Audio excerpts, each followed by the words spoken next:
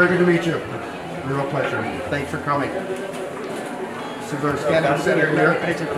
Attend ಮಾಡೋದು sir ಅಂದರೆ ನೋಡಿ ಇಷ್ಟೇ ಮಾಡಿ ಅದು ಒಸಿಯಾರ್ ಆಗಿರುತ್ತೆ ಆಪ್ಟಿಕಲ್ ಕನೆಕ್ಟಿವಿಟಿ ಅವೆಲ್ಲ ನಂತರ ವೆರಿ ಚಾಲೆಂಜ್ ದ ಪೀಪಲ್ ಕೂಡ ಈಗ ಎಲ್ಲ ಪುಸ್ತಕಗಳು ಯಾವುದೇ ಭಾಷೆಗೆ ಅವ್ರು ಕೇಳಿಸ್ಕೊಂಡು ಹೋಗಿ ಸರ್ ಏನು ವಿಷಯದಲ್ಲಿ ಎಲ್ಲ ಕಡೆ ಸಿಗುತ್ತೆ ಕನ್ನಡ ಐನೂರು ಎಲ್ಲ ಸಿಗೋದು ಹಿಂದಿ ಮಾಡಿ ಇದನ್ನೇ ಇಂಗ್ಲೀಷ್ ಕನ್ನಡ ಇದು ಬೇರೆ ಎಲ್ಲ ಭಾಷೆಗಳು ಡಾಟ್ ಈಗ ಗಾಂಧಿ ಭವನದ ಇವತ್ತು ಒಂದು ಲೈಬ್ರರಿ ಏನಿದೆಯಲ್ಲ ಇಷ್ಟು ಈಗಾಗಲೇ ಡಿಸಿಷನ್ ಆಗಿದೆ ಬಿಟ್ಟಿದ್ದಾನೆ ರಾಬರ್ಟ್ ನಾಡ್ ಅದಕ್ಕೆ ಸಿಕ್ಸ್ six lakhs pages ಆಗಲಿ ಸ್ಕ್ಯಾನಿಂಗ್ ಆಗಿದೆ ಎಲ್ಲ ಆನ್ಲೈನ್ ಈ ಬೇಕಾದ್ರೆ ಹೇಳ್ತೀನಿ ಅಲ್ಲಿ ಹತ್ತು ಲಕ್ಷ ಕಾರ್ ದೇವೋಭವ ಮಾತೃದೇವೋಭವ ಪಿತೃದೇವೋಭವ ಆಚಾರ್ಯ ದೇವೋಭವ ಅಂತಹ ಶ್ರೀಮಂತ ಸುಸಂಸ್ಕೃತ ಸಂಸ್ಕೃತಿಯನ್ನು ಹೊಂದಿರುವಂಥದ್ದು ಏಕೈಕ ನಾಡು ಅಂದರೆ ಬಹುಶಃ ನಮ್ಮ ಭಾರತವೇ ಆಗಿದೆ. ಹಾಗಾಗಿ ನಮ್ಮ ಭಾರತೀಯರಲ್ಲಿ ನಾವು ಕೇವಲ ತಂದೆ, ತಾಯಿ, ಗುರುಗಳನ್ನು ಮಾತ್ರ ದೇವರಂತೆ ಕಾಣ್ತಾ ಇಲ್ಲ. ಅತಿಥಿ ದೇವೋಭವ ಅಂತ ಕೂಡ ಹೇಳ್ತಾ ಇದ್ದೀವಿ. ಅಂದರೆ ನಾವು ಅತಿಥಿಗಳನ್ನು ಕೂಡ ದೇವರ ಸ್ಥಾನದಲ್ಲಿ ಕೂರಿಸಿ ಅವರಿಗೆ ಗೌರವ ಸಲ್ಲಿಸುವುದು ನಮ್ಮೆಲ್ಲರ ಆ ಸಂಸ್ಕೃತಿ. ಈಗ ಎಸ್ ಪಿ ಗೋವಿಂದರವರು ಕಲಾವಿದರು ಕನ್ನಡ ಮತ್ತು ಸಂಸ್ಕೃತಿ ಇಲಾಖೆ ಅವರು ಗೌರವವನ್ನು ಅಧ್ಯಕ್ಷ ಕಡೆಯಿಂದ ಸ್- ಸ್ವೀಕಾರ ಮಾಡಬೇಕು ಅಂತ ಕೇಳ್ಕೊಳ್ತೀನಿ. ನಿತ್ಯಾನಂದ ಶರ್ಮಾರವರು ಸಹನು ಗೌರವವನ್ನು ಸ್ವೀಕರಿಸಬೇಕು. ಈ ದಿನದ ಕಾರ್ಯಕ್ರಮದ ಸುಗಮ ಸಂಗೀತ ಕಾರ್ಯಕ್ರಮವನ್ನು ನೆರವೇರಿಸಿಕೊಟ್ಟಂಥ ಇವರಿಗೆ ಗಾಂಧಿ ಸ್ವಾಮಿ ಪರವಾಗಿ ಧನ್ಯವಾದವನ್ನು ಸಮರ್ಪಣೆ ಮಾಡ್ತಾ ಇದ್ದೀರಿ.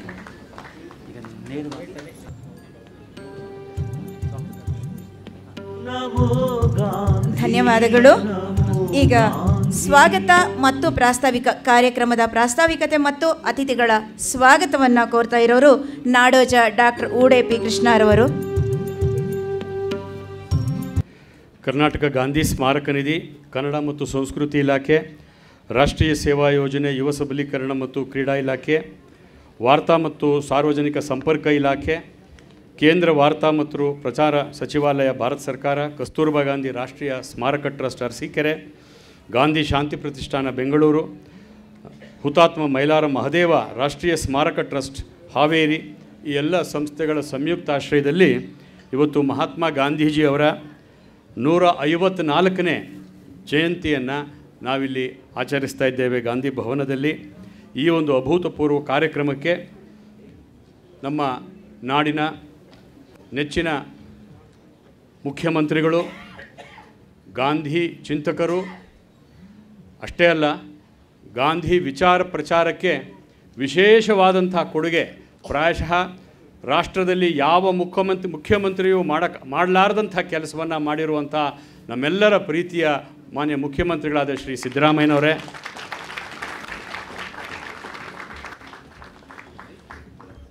ನಮ್ಮ ಭಾರತದ ರಾಜಕೀಯ ಪರಿಸರದಲ್ಲಿ ಒಂದು ಗಾಂಧಿ ಮುಖ ಅನ್ನಿಸಿಕೊಂಡಿರುವಂಥ ನಮ್ಮ ಕಾನೂನು ಮತ್ತು ಸಂಸದೀಯ ವ್ಯವಹಾರಗಳ ಮಾನ್ಯ ಸಚಿವರಾದಂಥ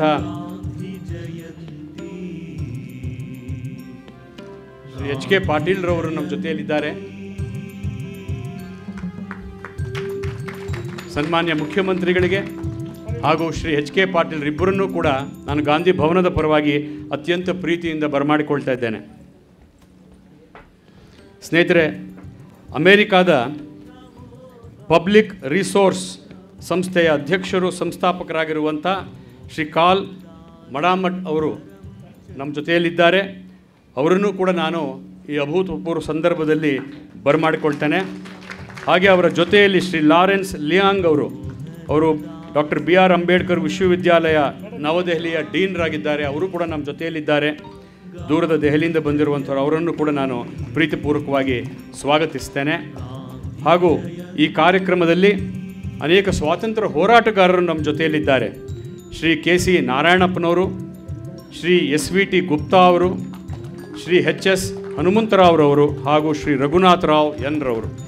ಈ ನಾಲ್ಕು ಜನ ಸ್ವಾತಂತ್ರ್ಯ ಹೋರಾಟಗಾರರನ್ನು ನಾನು ಇಲ್ಲಿ ನೆರೆದಿರುವ ಎಲ್ಲ ಬಂಧುಗಳ ಪರವಾಗಿ ಪ್ರೀತಿಪೂರ್ವಕವಾಗಿ ನಾನು ಸ್ವಾಗತಿಸ್ತೇನೆ. ಹಾಗೆ ಮುಂದೆ ಬರಲಿ ಸರ್ ಮುಂದೆ ಹಾಗೆ ನಮ್ಮ ಶ್ರೀಮಾನ್ ನಜೀರ್ ಅಹಮದ್ರವರು ಮಾನ್ಯ ವಿಧಾನ ಪರಿಷತ್ ಸದಸ್ಯರು ಹಾಗೂ ಮುಖ್ಯಮಂತ್ರಿಗಳ ರಾಜಕೀಯ ಕಾರ್ಯದರ್ಶಿಗಳಾಗಿರುವಂಥ ಶ್ರೀ ನಜೀರ್ ಅಹಮದ್ರವರನ್ನು ಕೂಡ ನಾನು ಈ ಕಾರ್ಯಕ್ರಮಕ್ಕೆ ಪ್ರೀತಿಪೂರ್ವಕವಾಗಿ ಸ್ವಾಗತಿಸ್ತೇನೆ. ಇವತ್ತು ನಮ್ಮ ಜೊತೆಯಲ್ಲಿ ಕೇಂದ್ರ ಗಾಂಧಿ ಸ್ಮಾರಕ ನಿಧಿ ನವದೆಹಲಿ ಇದರ ಉಪಾಧ್ಯಕ್ಷರಾದಂಥ ಶ್ರೀ ಶುಭಾಮೂರ್ತಿ ಅವರಿದ್ದಾರೆ. ಅವರನ್ನು ಕೂಡ ನಾನು ಪ್ರೀತಿಪೂರ್ವಕವಾಗಿ ಸ್ವಾಗತಿಸ್ತೇನೆ. ಹಾಗೂ ಈ ಕಾರ್ಯಕ್ರಮಕ್ಕೆ ನಮಗೆ ವಿಶೇಷವಾಗಿ ನಮಗೆ ನಮ್ಮ ಎಲ್ಲ ಗಾಂಧಿ ಸಾಹಿತ್ಯವನ್ನು ಸ್ಕ್ಯಾನ್ ಮಾಡಿ ಅದನ್ನು ತಾಂತ್ರಿಕ ಸಹಾಯದಿಂದ ಅದನ್ನೆಲ್ಲವನ್ನು ಕೂಡ ರೆಕಾರ್ಡ್ ಮಾಡಿರುವಂಥ ಶ್ರೀ ಓಂ ಶಿವಪ್ರಕಾಶ್ರವರು ಹಾಗೂ ಶ್ರೀ ಅಭಯ ಸಿಂಹ ಅವರು ನಮ್ಮ ಜೊತೆಯಲ್ಲಿದ್ದಾರೆ. ಅವರನ್ನು ಕೂಡ ನಾನು ಗಾಂಧಿ ಭವನದ ಪರವಾಗಿ ನಾನು ಬರಮಾಡ್ಕೊಳ್ತೇನೆ. ಹಾಗೂ ನಮ್ಮ ಗಾಂಧಿ ಭವನದ ಉಪಾಧ್ಯಕ್ಷರಾದಂಥ ಶ್ರೀ ಎನ್ ಆರ್ ವಿಶ್ವಕುಮಾರ್ ಅವರನ್ನು ಕೂಡ ನಾನು ಪ್ರೀತಿಪೂರ್ವಕವಾಗಿ ಸ್ವಾಗತಿಸ್ತೇನೆ. ಹಾಗೆ ಕಾರ್ಯದರ್ಶಿಗಳಾದಂಥ ಶ್ರೀಮತಿ ಇಂದಿರಾ ಕೃಷ್ಣಪ್ಪನವರನ್ನು ಕೂಡ ನಾನು ಪ್ರೀತಿಪೂರ್ವಕವಾಗಿ ಬರಮಾಡಿಕೊಳ್ತೇನೆ. ಹಾಗೆ ನಮ್ಮ ಸಂಸ್ಥೆಯ ಕೋಶಾಧ್ಯಕ್ಷರಾದಂಥ ಶ್ರೀ ಎಚ್ ಬಿ ದಿನೇಶ್ರವರು ನಮ್ಮ ಜೊತೆಗಿದ್ದಾರೆ. ಸದಸ್ಯರುಗಳಾದಂಥ ಪ್ರೊಫೆಸರ್ ಎಸ್ ಜಿ ಸಿದ್ದರಾಮಯ್ಯನವರಿದ್ದಾರೆ.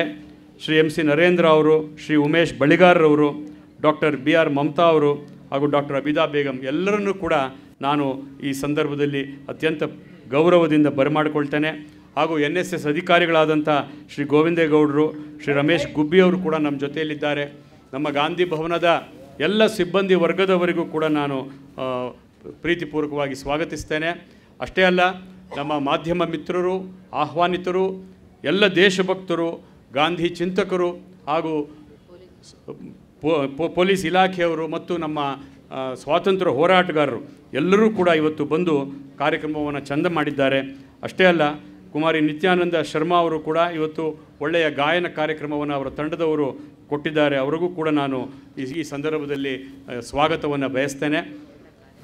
ಆಮೇಲೆ ನಮ್ಮ ಕರ್ನಾಟಕ ಖಾದಿ ಗ್ರಾಮೋದ್ಯೋಗ ಸಂಯುಕ್ತ ಸಂಘ ಬೆಂಗೇರಿ, ಕರ್ನಾಟಕ ಸರ್ವೋದಯ ಮಂಡಲ, ಗಾಂಧಿ ಸಾಹಿತ್ಯ ಸಂಘ, ವಿಶ್ವನೀಡಂ, ವಲ್ಲಭನಿಕೇತನ, ಗಾಂಧಿ ಪ್ರಣೀತ ಸಂಸ್ಥೆಗಳು ರಾಷ್ಟ್ರೀಯ ಸೇವಾ ಯೋಜನಾ ಕಾರ್ಯಕ್ರಮಾಧಿಕಾರಿಗಳು, ಗಾಂಧಿ ಅಧ್ಯಯನ ಕೇಂದ್ರಗಳ ಸಂಚಾಲಕರು, ಬೆಂಗಳೂರು ವಿಶ್ವವಿದ್ಯಾಲಯ ವ್ಯಾಪ್ತಿಯ ಕಾಲೇಜುಗಳು, ಪದವಿ ಪೂರ್ವ ಶಿಕ್ಷಣ ಇಲಾಖೆಯ ಕಾಲೇಜುಗಳು, ಶೇಷಾದ್ರಿಪುರಂ ಶಿಕ್ಷಣ ಸಂಸ್ಥೆಗಳು ಹಾಗೂ ತಾಂತ್ರಿಕ ಶಿಕ್ಷಣ ನಿರ್ದೇಶನಾಲಯದ ಎಲ್ಲ ವಿದ್ಯಾರ್ಥಿಗಳು ಇವತ್ತಿನ ದಿವಸ ಈ- ಕಾರ್ಯಕ್ರಮದಲ್ಲಿ ರಜೆ ಇದ್ದಂಥ ಸಂದರ್ಭದಲ್ಲೂ ಕೂಡ ಎಲ್ಲರೂ ಕೂಡ ಇಷ್ಟು ಉತ್ಸುಕರಾಗಿ ಗಾಂಧಿಯವರ ಕಾರ್ಯಕ್ರಮಕ್ಕೆ ಬಂದಿದ್ದಾರೆ. ಎಲ್ಲರನ್ನೂ ಕೂಡ ನಾನು ಅತ್ಯಂತ ಗೌರವದಿಂದ, ಪ್ರೀತಿಯಿಂದ ಬರಮಾಡಿಕೊಳ್ಳಿಕ್ಕೆ ಬಯಸ್ತೇನೆ. ನಾನು ಪ್ರಾಸ್ತಾವಿಕವಾಗಿ ಒಂದೆರಡು ಮಾತುಗಳನ್ನು ಸನ್ಮಾನ್ಯ ಮುಖ್ಯಮಂತ್ರಿಗಳ ಮುಂದೆ ಇಡಲಿಕ್ಕೆ ಬಯಸಿ, ಯಾಕೆಂದರೆ ಇವತ್ತು ನಾವು ಅಂತಾರಾಷ್ಟ್ರೀಯ ಅಹಿಂಸಾ ದಿನಾಚರಣೆಯನ್ನು ಆಚರಿಸ್ತಾ ಇದ್ದೇವೆ. ಗಾಂಧಿ ಜಯಂತಿಯನ್ನು ಇವತ್ತು ನೂರ ತೊಂಬತ್ತ್ಮೂರು ದೇಶಗಳಲ್ಲಿ ಅಂತಾರಾಷ್ಟ್ರೀಯ ಅಹಿಂಸಾ ದಿನಾಚರಣೆಯನ್ನಾಗಿ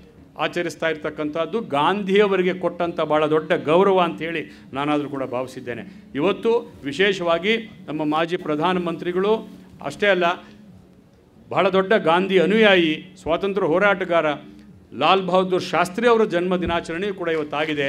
ಹಾಗಾಗಿ ಅವರನ್ನು ಕೂಡ ಸ್ಮರಿಸ್ತಕ್ಕಂಥ ಕೆಲಸ ಬಹಳ ಮುಖ್ಯ ಅಂತೇಳಿ ನಾನು ಅಂದ್ಕೊಂಡಿದ್ದೇನೆ. ನಾನು ಗಾಂಧಿ ಭವನದ ಬಗ್ಗೆ ಒಂದು ಮಾತು ಹೇಳಬೇಕು. ಡಾಕ್ಟರ್ ಹೋ ಶ್ರೀನಿವಾಸಯ್ಯನವರು ಸುಮಾರು ಮೂರು ದಶಕಗಳ ಕಾಲ ಈ ಸಂಸ್ಥೆಯನ್ನು ಕೈ ಹಿಡಿದು ಗಟ್ಟಿಯಾಗಿ ನಡೆಸಿದಂಥವರು. ಅವರು ನಮ್ಮ ಆಗಿನ ಮುಖ್ಯಮಂತ್ರಿಗಳಾಗಿದ್ದಂಥ ಎಸ್ ಜಿ, ನಮ್ಮ ಸಿದ್ದರಾಮಯ್ಯನವರನ್ನು ಒಂದು ಕೋರಿಕೆ ಅವ್ರ ಮುಂದೆ ಇಟ್ಟರು ಏನು ಅಂದರೆ, ಜಿಲ್ಲೆಗೊಂದು ಗಾಂಧಿ ಭವನ ಆಗಬೇಕು ಅನ್ನುವಂಥದ್ದು. ಆ ಕನಸನ್ನು ಈಡೇರಿಸಿ ಕೊಟ್ಟವರು ಸನ್ಮಾನ್ಯ ಮುಖ್ಯಮಂತ್ರಿಗಳಾದಂಥ ಸಿದ್ದರಾಮಯ್ಯನವರು. ಈಗಾಗಲೇ ಮೂವತ್ತೊಂದು ಜಿಲ್ಲೆಗಳಲ್ಲಿ ಇಪ್ಪತ್ನಾಲ್ಕು ಜಿಲ್ಲೆಗಳಲ್ಲಿ ಆಗಿದೆ ಅಂತೇಳಿ ನಮಗೆ ವರದಿ ಬಂದಿದೆ. ಇನ್ನು ಆರೇಳು ಜಿಲ್ಲೆಗಳಲ್ಲಿ ಗಾಂಧಿ ಭವನ ಆಗಬೇಕಾದಿದೆ ನಾನು ಸನ್ಮಾನ್ಯ ಮುಖ್ಯಮಂತ್ರಿಗಳಲ್ಲಿ ಕೇಳ್ಕೊಳ್ಳೋದಿಷ್ಟೇ. ಆದಷ್ಟು ಅವುಗಳನ್ನು ಕೂಡ ಪೂರೈಸಿ ಅದರ ಉದ್ಘಾಟನೆ ಕೂಡ ಆಗುವಂತೆ ತಾವು ಆದೇಶಿಸಬೇಕು ಅಂತ ಹೇಳಿ ನಾನು ಮತ್ತೊಮ್ಮೆ ಸಿದ್ದರಾಮಯ್ಯನವರಲ್ಲಿ ಪ್ರಾರ್ಥಿಸ್ಕೊಳ್ತೇನೆ. ಇವತ್ತು ನಮ್ಮ ಗಾಂಧಿ ಭವನ ಏನು ಬೆಂಗಳೂರಿನಲ್ಲಿದೆ. ಅದು it is one of the best activity centres in the country ಅಂತ ಹೇಳಿ ಕೇಂದ್ರ ಗಾಂಧಿ ಸ್ಮಾರಕ ನಿಧಿಯವರು ಗುರುತಿಸಿರ್ತಕ್ಕಂಥದ್ದು ನನಗೆ ಭಾಳ ಸಂತೋಷದ ಸಂಗತಿ. ಆಮೇಲೆ ಇದು ಶ್ರೀಸಾಮಾನ್ಯರ ಗಾಂಧಿ ಭವನ ಆಗಬೇಕು ಅಂತ ಹೇಳಿ ನಾವು ಎಲ್ಲ ವರ್ಗದ ಜನರಿಗೂ ಇಲ್ಲಿ ಎಲ್ಲರೂ ಗಾಂಧಿ ಭವನಕ್ಕೆ ಬರಬೇಕು. ಅವರು ರೈತರು ಇರ್ಬೋದು ಮಹಿಳೆಯರಿರ್ಬೋದು, ದಲಿತರಿರ್ಬೋದು. ಪ್ರತಿಯೊಬ್ಬರೂ ಕೂಡ ತಮ್ಮ ವಿಚಾರಗಳನ್ನು ಚರ್ಚೆ ಮಾಡಲಿಕ್ಕೆ, ವಿನಿಮಯ ಮಾಡಿಕೊಳ್ಳಿಕ್ಕೆ ಎಲ್ಲದಕ್ಕೂ ಕೂಡ ಸಾಕಷ್ಟು ಅವಕಾಶವನ್ನು ಗಾಂಧಿ ಭವನ ಮಾಡ್ತಾ ಬಂದಿದೆ. ಅದು ನಮಗೆ ಕೂಡ ದೊಡ್ಡ ತಂದುಕೊಟ್ಟಂಥ ಭಾಳ ದೊಡ್ಡ ತೃಪ್ತಿ ಅಂತ ನಾನು ಅಂದ್ಕೊಂಡಿದ್ದೇನೆ. ಸ್ನೇಹಿತರೆ ವರ್ಲ್ಡ್ ನೀಡ್ಸ್ ಗಾಂಧಿ ಇವತ್ತು ಪ್ರಪಂಚ ಗಾಂಧಿಯನ್ನು ಎದುರು ನೋಡ್ತಾ ಇರ್ತಕ್ಕಂಥದ್ದನ್ನು ನಾವೆಲ್ಲ ನೋಡ್ತಾ ಇದ್ದೇವೆ. ಮೊನ್ನೆ ಜಿ ಟ್ವೆಂಟಿ ಆದಂಥ ಸಂದರ್ಭದಲ್ಲಿ ಇಪ್ಪತ್ತು ರಾಷ್ಟ್ರಗಳ ರಾಷ್ಟ್ರಪತಿಗಳು, ಪ್ರಧಾನಮಂತ್ರಿಗಳು ಬಂದಿದ್ದರು ಅವರೆಲ್ಲರೂ ಕೂಡ ಬಂದ ತಕ್ಷಣ, ಇಳಿದ ತಕ್ಷಣ ಡೆಲ್ಲಿಗೆ ಬಂದು ಅವ್ರು ಕೇಳ್ಕೊಂಡಂಥ ಮೊದಲೇ ಕೋರಿ, ಕೋರಿಕೆ ಏನಪ್ಪ ಅಂದರೆ when are you taking us to Gandhi ಸಮಾಧಿ ಗಾಂಧಿ ಸಮಾಧಿಗೆ ನಮ್ಮನ್ನು ಯಾವಾಗ ಕರ್ಕೊಂಡು ಹೋಗ್ತೀರಿ? ನಾವು ಅವರಿಗೆ ಮೊದಲು ನಮ್ಮ ಗೌರವ ಸಲ್ಲಿಸಬೇಕು ಅನ್ನುವಂಥ ಮಾತನ್ನು ಹೇಳಿದರು. ನಾನು ಯಾಕೆ ಈ ಮಾತನ್ನು ಹೇಳ್ತೇನೆ ಅಂತಂದರೆ ಗಾಂಧಿಯವರಿಗೆ ಅಂತಹ ಒಂದು ಇಂಟರ್ನ್ಯಾಷನಲ್ ರೆಲೆವೆನ್ಸ್ ಇದೆ ಅನ್ನುವಂಥ ಮಾತನ್ನು ನಾನು ಈ ಸಂದರ್ಭದಲ್ಲಿ ಹೇಳಲಿಕ್ಕೆ ಬಯಸ್ತೇನೆ. ಸ್ನೇಹಿತರೆ ನಾನು ಇನ್ನೊಂದು ವಿಚಾರ ಭಾಳ ನೋವಿನಿಂದ ನಾನು ಇವತ್ತು ಇವತ್ತು ತಮ್ಮೊಂದಿಗೆ ಹಂಚಿಕೊಳ್ಬೇಕು. ಗಾಂಧಿ ಬಗ್ಗೆ ವಿಶೇಷವಾಗಿ ಸಾಮಾಜಿಕ ಜಾಲತಾಣಗಳಲ್ಲಿ ಗಾಂಧಿ ಬಗ್ಗೆ ಬಹಳ ತಪ್ಪು ತಪ್ಪು ಮಾಹಿತಿಗಳನ್ನು, ಕೆಟ್ಟ ವಿಚಾರಗಳನ್ನು ಇವತ್ತು ಪ್ರಸಾರ ಮಾಡ್ತಾ ಇರ್ತಕ್ಕಂಥದ್ದನ್ನು ನಾವು ನೋಡ್ತಾ ಇದ್ದೇವೆ. ನಾನಾದರೂ ಕೂಡ ಸ, ಮಾನ್ಯ ಸರ್ಕಾರದವರಲ್ಲಿ ಮಾನ್ಯ ಮುಖ್ಯಮಂತ್ರಿಗಳಲ್ಲಿ ಕೇಳ್ಕೊಳ್ಳೋದಿಷ್ಟೇ. ದಯಮಾಡಿ ನೀವು ಇಂತಹ ಕುತಂತ್ರಿಗಳ ವಿರುದ್ಧ ನೀವು ಕ್ರಮ ಕೈಗೊಳ್ಳಬೇಕು. ಯಾಕೆ ಅಂತಂದರೆ ಇವತ್ತು ರಾಷ್ಟ್ರಪಿತನಿಗೆ ನಾವು ಅಗೌರವ ತೋರೋದು ಅಂತಂದರೆ ಹೇಗೆ? ಅದು ತೋರಿಸಿದ್ದಾದರೆ ಇಡೀ ಭಾರತೀಯರಿಗೆ, ಭಾರತಕ್ಕೆ ನಾವು ಗೌರವ, ಅಗೌರವ ತೋರಿಸಿದ್ದೇವೆ ಅಂತೇಳಿ ನಾವು ಅಂದ್ಕೊಳ್ಬೇಕಾಗತ್ತೆ. ಯಾಕಂದರೆ ಭಾರತ ಬಿಟ್ಟು ಗಾಂಧಿ ಇಲ್ಲ.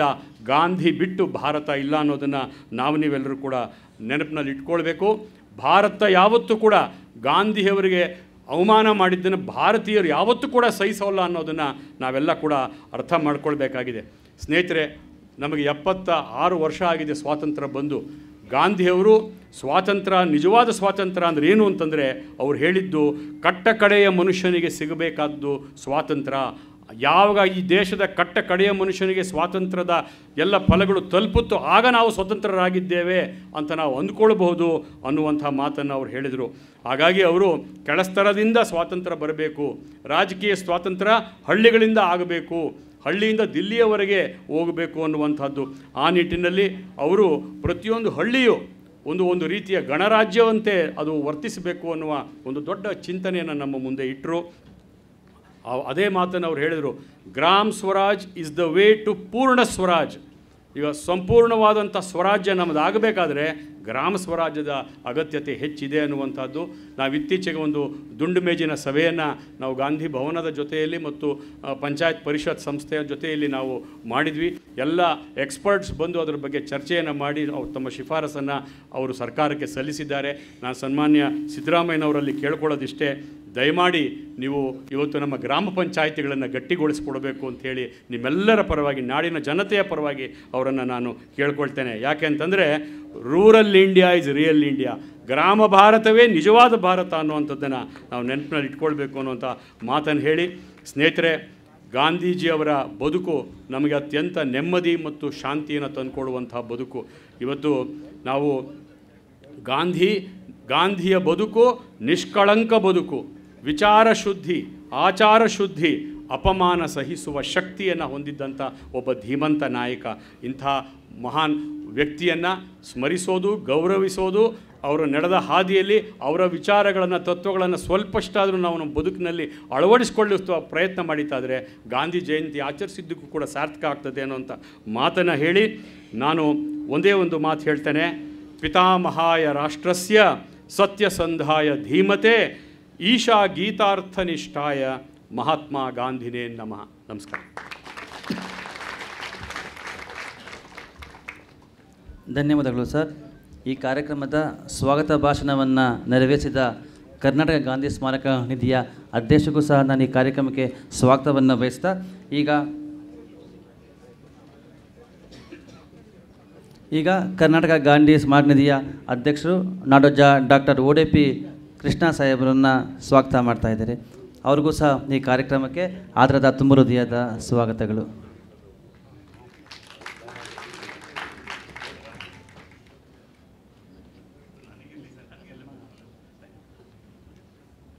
ಮುಂದಿನ ಕಾರ್ಯಕ್ರಮ ಹರಳಿ ಮರಕ್ಕೆ ನೀರು ಎರೆಯುವುದರ ಮೂಲಕ ಗಾಂಧಿ ಪ್ರತಿಮೆಗೆ ಪುಷ್ಪವನ್ನು ಸಮರ್ಪಣೆ ಮಾಡುವ ಮೂಲಕ ಕಾರ್ಯಕ್ರಮವನ್ನು ಉದ್ಘಾಟನೆ ಮಾಡಿಕೊಡಬೇಕು ಅಂಥೇಳಿ ರಾಜ್ಯದ ಮುಖ್ಯಮಂತ್ರಿಗಳನ್ನು ಹಾಗೆ ವೇದಿಕೆ ಮೇಲೆ ಎಲ್ಲ ಅತಿಥಿ ಗಣ್ಯರನ್ನು ಕೇಳ್ಕೊಳ್ತಾ ಇದ್ದೀನಿ.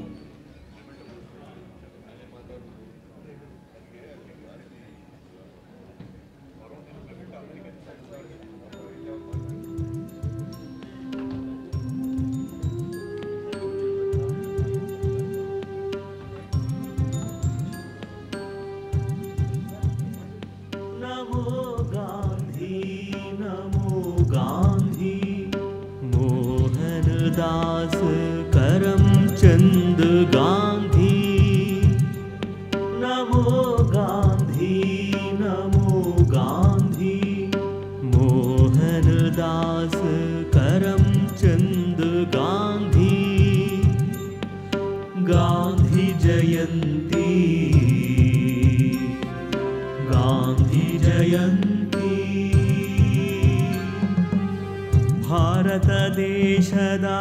ಜನಮನಗಳಲ್ಲಿ ಅಜರಾಮರ ನೀನು.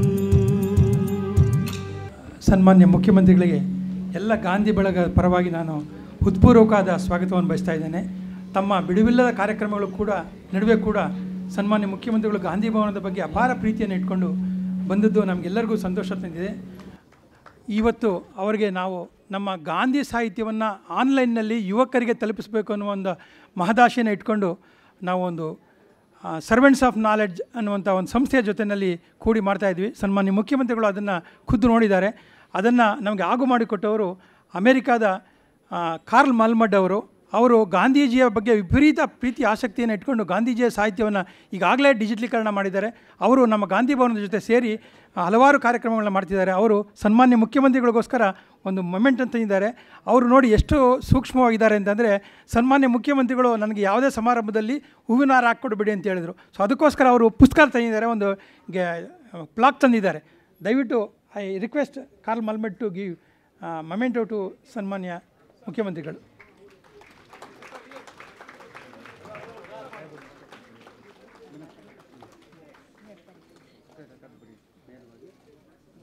ಇಲ್ಲ ನಾನೇ ಹೇಳ್ತೀನಿ. ಮುಖ್ಯಮಂತ್ರಿಗಳು ಮನೇಲಿ ಆಮೇಲೆ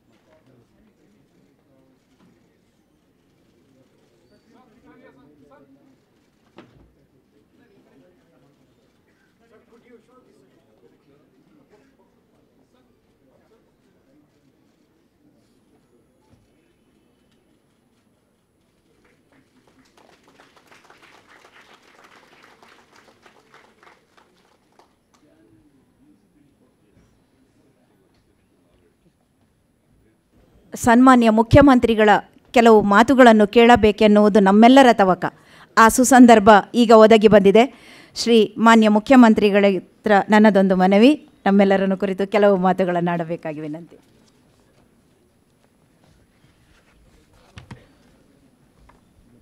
ಮಹಾತ್ಮ ಗಾಂಧೀಜಿ ಅವರ ಜನ್ಮ ದಿನಾಚರಣೆ ಕಾರ್ಯಕ್ರಮದಲ್ಲಿ ಭಾಗವಹಿಸಿರ್ತಕ್ಕಂಥ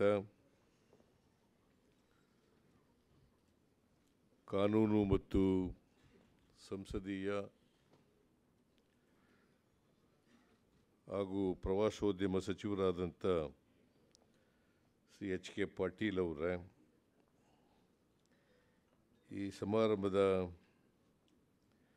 ಅಧ್ಯಕ್ಷತೆ ವಹಿಸಿರ್ತಕ್ಕಂಥ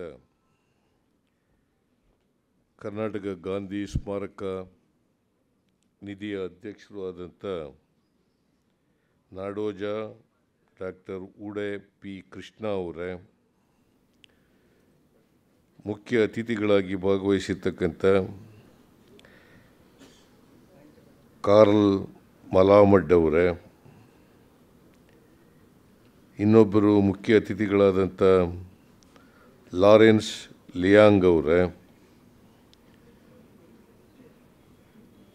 ಮುಖ್ಯಮಂತ್ರಿಗಳ ಕಾರ್ಯದರ್ಶಿಗಳು, ರಾಜಕೀಯ ಕಾರ್ಯದರ್ಶಿಗಳಾದಂಥ ನಜೀರ್ ಅಹಮದ್ ಅವರೇ,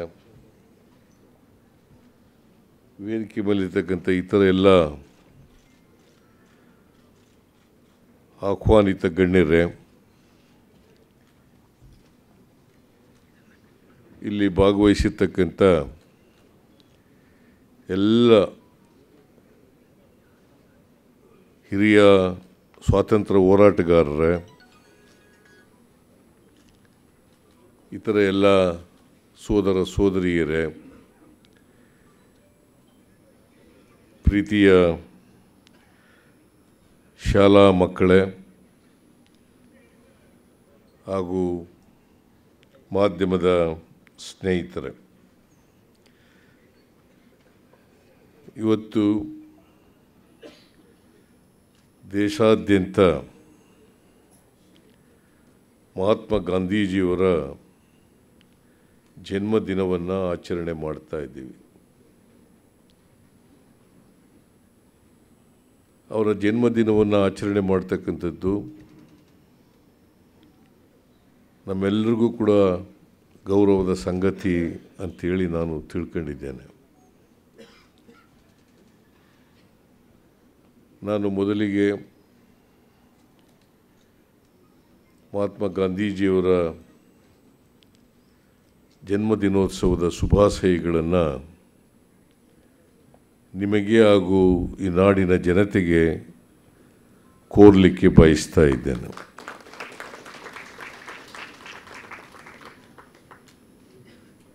ಮಹಾತ್ಮ ಗಾಂಧೀಜಿಯವರು ಈ ದೇಶದಲ್ಲಿ ಸ್ವಾತಂತ್ರ್ಯ ಹೋರಾಟದ ನಾಯಕತ್ವವನ್ನು ವಹಿಸದೇ ಇದ್ದಿದ್ರೆ ನಾವು ಗುಲಾಮಗಿರಿಯಿಂದ ಹೊರಗಡೆ ಬರ್ತಕ್ಕಂಥದ್ದು ಭಾಳ ಕಷ್ಟ ಆಯ್ತಾಯಿತ್ತು ಗಾಂಧೀಜಿಯವರು ವಕೀಲರಾಗಿ, ಅಲ್ಲಿ ವಕೀಲಿ ಕೆಲಸ ಮಾಡಲಿಕ್ಕೆ ದಕ್ಷಿಣ ಆಫ್ರಿಕಾಕ್ಕೆ ಹೋದವರು. ಅಲ್ಲೂ ಕೂಡ ಹೋರಾಟವನ್ನು ಮಾಡಲಿಕ್ಕೆ ಪ್ರಾರಂಭ ಮಾಡಿದ್ರು, ಜೈಲು ವಾಸನ ಕೂಡ ಅನುಭವಿಸಿದ್ರು.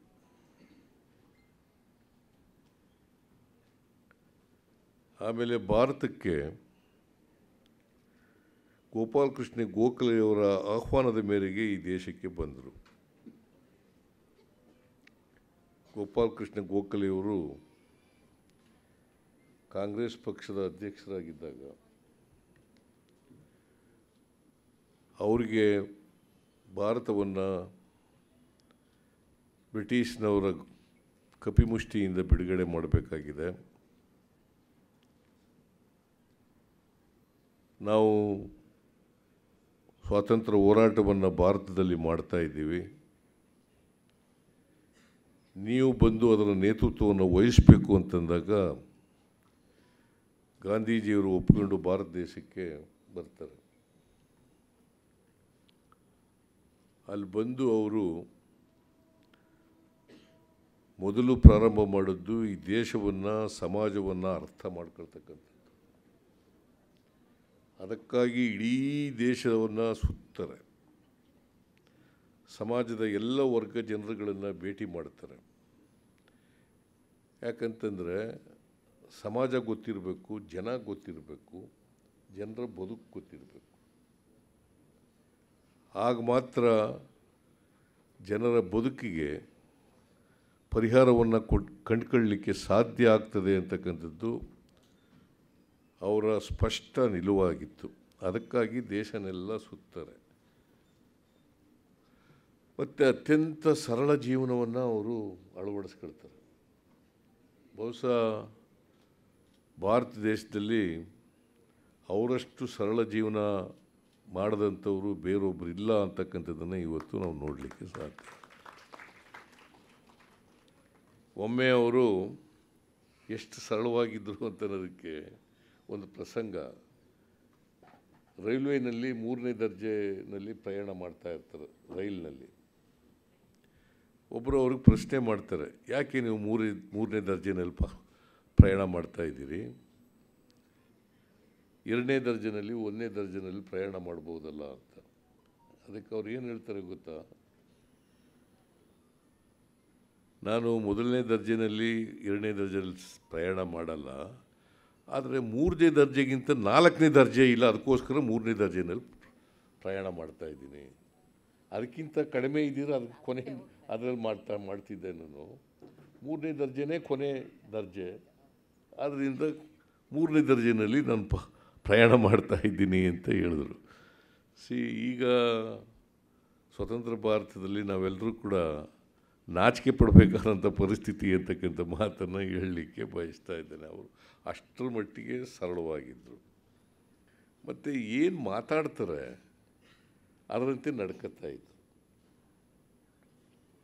ಬಸವಾದಿ ಶರಣರು ಹೇಗೆ ನುಡಿದಂತೆ ನಡೆದರು ಅದರಂತೆಯೇ ಮಹಾತ್ಮ ಗಾಂಧೀಜಿಯವರು ಕೂಡ ಏನು ಹೇಳ್ತಾರೆ, ಅದೇ ರೀತಿ ನಡ್ಕೊಳ್ತಾ ಇದ್ದರು ಅವರು ಈ ದೇಶದ ಸ್ವಾತಂತ್ರ್ಯವನ್ನು ಪಡ್ಕೊಳ್ಳಿಕ್ಕೆ ಮಾರ್ಗ, ಬಳಸಿದಂಥ ಮಾರ್ಗ ಅಹಿಂಸಾ ಮಾರ್ಗ. ಅಹಿಂಸಾ ಮಾರ್ಗದ ಮೂಲಕ ದೇಶದ ದೇಶದಲ್ಲಿ ಲಕ್ಷಾಂತರ ಜನರು ಅವರು ಇವತ್ತಿನಷ್ಟು ತಂತ್ರಜ್ಞಾನ ಬೆಳೆದಿರಲಿಲ್ಲ ಅವತ್ತು. ಇವತ್ತು ತಂತ್ರಜ್ಞಾನ ಭಾಳಷ್ಟು ಬೆಳೆದು ಬಿಟ್ಟಿದೆ. ಪ್ರಚಾರದ ತಂತ್ರಜ್ಞಾನ ಅಷ್ಟು ಇಲ್ಲೇ ಹೋದರೂ ಕೂಡ ಇಡೀ ದೇಶ ಅವರು ಮಾತಾಡ್ತಾರೆ ಅಂತಂದರೆ ದೇಶದ ಮೂಲೆ ಮೂಲೆಗೆ ತಲುಪ್ತಕ್ಕಂಥ ವ್ಯವಸ್ಥೆ ಆಯ್ತಿತ್ತು. ಅಷ್ಟರ ಮಟ್ಟಿಗೆ ಅವರು ಮಹಾತ್ಮ ಗಾಂಧೀಜಿಯವರು ಜನಪ್ರಿಯರಾಗಿದ್ದರು ಅಂತಕ್ಕಂಥದ್ದನ್ನು ಹೇಳಲಿಕ್ಕೆ ಸಾಧ್ಯ ಆಗ್ತದೆ. ಅವ್ರ ಮಾತು ಅಂತಂದರೆ, ಅದಕ್ಕೆ ನೆಹರೂರವರು ಒಮ್ಮೆ ಹೇಳ್ತಾರೆ, ನಾನು ಈ ಪುಸ್ತಕದಲ್ಲಿ, ಅಲ್ಲೂ ಕೂಡ ಉಲ್ಲೇಖ ಮಾಡಿದ್ದೀರಿ ನೀವು. ಮಹಾತ್ಮ ಗಾಂಧೀಜಿಯವರು ಎಲ್ಲಿರ್ತಾರೆ, ಅದೇ ದೇವಾಲಯ ಅಂತ. ಮಹಾತ್ಮ ಗಾಂಧೀಜಿಯವರು ಎಲ್ಲಿ ತಿರುಗಾಡ್ತಾರೆ, ಅದೇ ಪುಣ್ಯಭೂಮಿ ಅಂತ ಇದು ನೆಹರೂರವರು ಹೇಳಿದ್ದು, ಗಾಂಧೀಜಿಯವರಿಗೆ. ಇದು ಅಷ್ಟರ ಮಟ್ಟಿಗೆ ಮಹಾತ್ಮರಾಗಿದ್ದರು. ಅವರು ಈ ದೇಶಕ್ಕೆ ನಮಗೆ ಸ್ವಾತಂತ್ರ್ಯ ತಂದುಕೊಟ್ರು. ಆದರೆ ಸ್ವಾತಂತ್ರ್ಯದ ಸಂಭ್ರಮವನ್ನು ಅವರು ಅನುಭವಿಸಲಿಲ್ಲ. ನೆಹರೂರವರು ಇಲ್ಲಿ ಪ್ರಮಾಣವಚನ ಸ್ವೀಕಾರ ಮಾಡುವಾಗ ಮಹಾತ್ಮ ಗಾಂಧೀಜಿಯವರು ಬೆಂಗಳೂರು ದೆಹಲಿನಲ್ಲಿ ಇರಲಿಲ್ಲ ಕಲ್ಕತ್ತಾದಲ್ಲಿದ್ದರು? ನೌಕಾಲಿ. ಕಲ್ಕತ್ತಾದಲ್ಲಿದ್ದರು. ಅಲ್ಲಿ ವಿಭಜನೆ ಆಗಿತ್ತಲ್ಲ ಅಲ್ಲಿ ಸೌಹಾರ್ದವನ್ನು ಕಾಪಾಡಲಿಕ್ಕೋಸ್ಕರವಾಗಿ, ಶಾಂತಿಯನ್ನು ಕಾಪಾಡಲಿಕ್ಕಾಗಿ ಅಲ್ಲಿ ಸತ್ಯಾಗ್ರಹ ಮಾಡ್ತಾಯಿದ್ರು ಇಲ್ಲಿ ನಾವು ಸ್ವಾತಂತ್ರ್ಯ ಬಂದಿದೆ ಅಂತೇಳಿ ನಾವು ಸಂಭ್ರಮಿಸ್ತಾ ಇದ್ದೋ, ಅಲ್ಲಿ ಅವರು ದೇಶದಲ್ಲಿ ಶಾಂತಿ ನೆಲೆಸಲಿಕ್ಕೋಸ್ಕರ ಸತ್ಯಾಗ್ರಹವನ್ನು ಮಾಡ್ತಾಯಿದ್ರು ಅದರಿಂದ ಗಾಂಧೀಜಿಯವ್ರ ಬಗ್ಗೆ ಮಾತಾಡೋಕ್ಕೆ ಹೋದರೆ ಗಂಟೆಗಟ್ಟಲೆ ಮಾತಾಡ್ಬೋದು.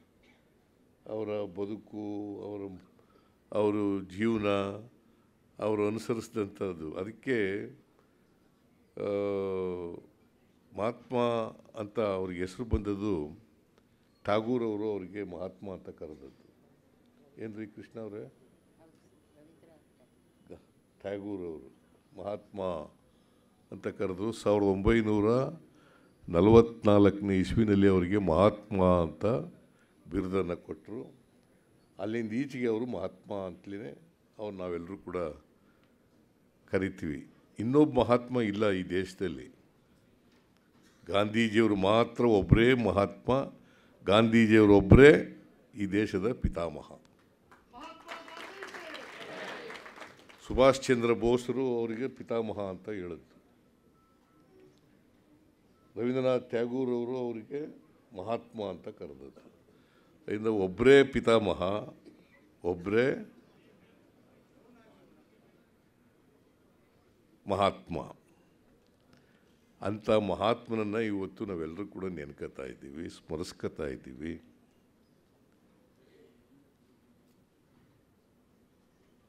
ಪ್ರತಿಯೊಬ್ಬರು ಕೂಡ ಅವ್ರಿಗೆ ಗೌರವ ಸಲ್ಲಿಸೋದು ಅಂತಂದರೆ ಅವರು ನಡೆದಂಥ ಕೃಷ್ ಓಡೆ ಕೃಷ್ಣ ಅವರು ಹೇಳಿದ್ರು, ಅವರು ನಡೆದ ದಾರಿ ಇದೆಯಲ್ಲ, ಆ ದಾರಿ ಪ್ರಯತ್ನ ಮಾಡೋದು ನಾವು. ಅವರಂತೆ ಮಾಡೋಕ್ಕಾಗಲ್ಲ. ಯಾಕಂದರೆ ಈ ದೇಶದಲ್ಲಿ ಅವರು ಬಯಸಿದಂಥ ದೇಶ, ಅವ್ರು ಕನಸು ಕಂಡಿದ್ದಂಥ ದೇಶ, ಆ ದೇಶ ಇನ್ನೂ ನಿರ್ಮಾಣ ಆಗಿಲ್ಲ ಅಂತಕ್ಕಂಥದ್ದನ್ನು ನಾವು ನೋಡಲಿಕ್ಕೆ ಸಾಧ್ಯ. ಎಪ್ಪತ್ತಾರು ವರ್ಷ ಆಯಿತು ಸ್ವಾತಂತ್ರ್ಯ ಬಂದು. ಎಪ್ಪತ್ತಾರು ವರ್ಷಗಳಾದರೂ ಕೂಡ ಗಾಂಧೀಜಿ ಕಂಡಿದ್ದಂಥ ಕನಸಿನ ಭಾರತ ನೋಡಲಿಕ್ಕೆ ಸಾಧ್ಯ ಆಗಲ್ಲ. ಯಾಕಂದರೆ ಅವ್ರಿಗೆ ಹಳ್ಳಿಗಳ ಬಗ್ಗೆ ಭಾಳ ಅಪಾರವಾದಂಥ ಪ್ರೀತಿ ಇತ್ತು. ಅದಕ್ಕೆ ಹಳ್ಳಿಗಳು ಸ್ವಾವಲಂಬನೆ ಆಗದೇನೆ. ಹಳ್ಳಿಗಳ ಉದ್ಧಾರ ಆಗದೇನೆ. ದೇಶದ ಉದ್ಧಾರ ಆಗಲಿಕ್ಕೆ ಸಾಧ್ಯ ಇಲ್ಲ ಅಂತಕ್ಕಂಥದ್ದನ್ನು ಬಲವಾಗಿ ನಂಬಿದಂಥವ್ರು. ಅದಕ್ಕಾಗಿ ಸರಳವಾದಂಥ ಆರ್ಥಿಕ ನೀತಿಯನ್ನು ಕೂಡ ಈ ದೇಶಕ್ಕೆ ಹೇಳ್ಕೊಟ್ಟಿದ್ರು. ಸೊ, ಆ ದಾರಿನಲ್ಲಿ ನಡೀತಕ್ಕಂಥ ಪ್ರಯತ್ನ ಆದರೂ ಕೂಡ ನೂರಕ್ಕೆ ನೂರು ಆ ದಾರಿನಲ್ಲಿ ನಡೀಲಿಲ್ಲ ನಾವು. ಅದು ನಾವು ಇವತ್ತು ಆ ಸತ್ಯವನ್ನು ಹೇಳಲೇಬೇಕಾಗ್ತದೆ. ಹಾಗಾಗಿ ನಾವು ಕೂಡ ಇವತ್ತು ಏನಾದರೂ ಅನೇಕ ಕಾರ್ಯಕ್ರಮಗಳನ್ನು ನಮ್ಮ ಸರ್ಕಾರ ಮಾಡಿದರೆ, ಅದರ ಹಿಂದೆ ಗಾಂಧೀಜಿಯವರ ಚಿಂತನೆ ಇದೆ ಅಂತಕ್ಕಂಥದ್ದನ್ನು ಹೇಳಲಿಕ್ಕೆ ಬಯಸ್ತೇನೆ. ಗಾಂಧೀಜಿಯವರ ಚಿಂತನೆ ಇದೆ. ಅದೇ ನಾವು ಅವರಿಗೆ ಸಲ್ಲಿಸ್ತಕ್ಕಂಥ ಗೌರವ ಅಂತ ಅಂದ್ಕೊಂಡಿದ್ದೀವಿ ಆ ಕೆಲಸವನ್ನು ಮಾಡ್ತಕ್ಕಂಥ ಪ್ರಾಮಾಣಿಕ ಪ್ರಯತ್ನವನ್ನು ನಾವು ಮಾಡ್ತಾ ಇದ್ದೀವಿ. ನಾವೆಲ್ಲರೂ ಕೂಡ ಗಾಂಧೀಜಿಯವರು ರೀತಿಯಲ್ಲಿ ನಡೀತಕ್ಕಂಥ ಪ್ರಯತ್ನವನ್ನು ಮಾಡೋಣ. ಗಾಂಧೀಜಿಯವರು ನಡೆದ ದಾರಿನಲ್ಲಿ ನಡೀಲಿಕ್ಕೆ ಪ್ರಯತ್ನ ಮಾಡೋಣ. ಅವರು ನಡೆದಂತೆ, ಅವರು ಬದುಕಿನಂತೆ ನಾವು ಬದುಕಕ್ಕೆ ಸಾಧ್ಯ ಆಗ್, ಆಗದೇ ಇರ್ಬೋದು, ಆದರೆ ಅವರ ಚಿಂತನೆಗಳನ್ನು ಅವರು ನಡೆದಂಥ ದಾರಿನಲ್ಲಿ ನಡೀತಕ್ಕಂಥ ಪ್ರಯತ್ನ ಮಾಡದೆ ಅವರು ನಿಜವಾಗಿ ಸಲ್ಲಿಸ್ತಕ್ಕಂಥ ಗೌರವ ಅಂತಕ್ಕಂಥ ಮಾತುಗಳನ್ನು ಹೇಳಲಿಕ್ಕೆ ಬಯಸ್ತೇನೆ. ಮತ್ತು ಇವತ್ತೇ ಆ ಅಕ್ಟೋಬರ್ ಎರಡನೇ ತಾರೀಕು ಲಾಲ್ ಬಹದ್ದೂರ್ ಶಾಸ್ತ್ರಿಯವರ ಜನ್ಮದಿನನೂ ಕೂಡ. ಬಹುಶಃ ಒಂದೇ ಒಂದು ಸೆಂಟೆನ್ಸ್ ಹೇಳ್ತೀನಿ ಲಾಲ್ ಬಹದ್ದೂರ್ ಶಾಸ್ತ್ರಿ ಅವರಿಗೆ.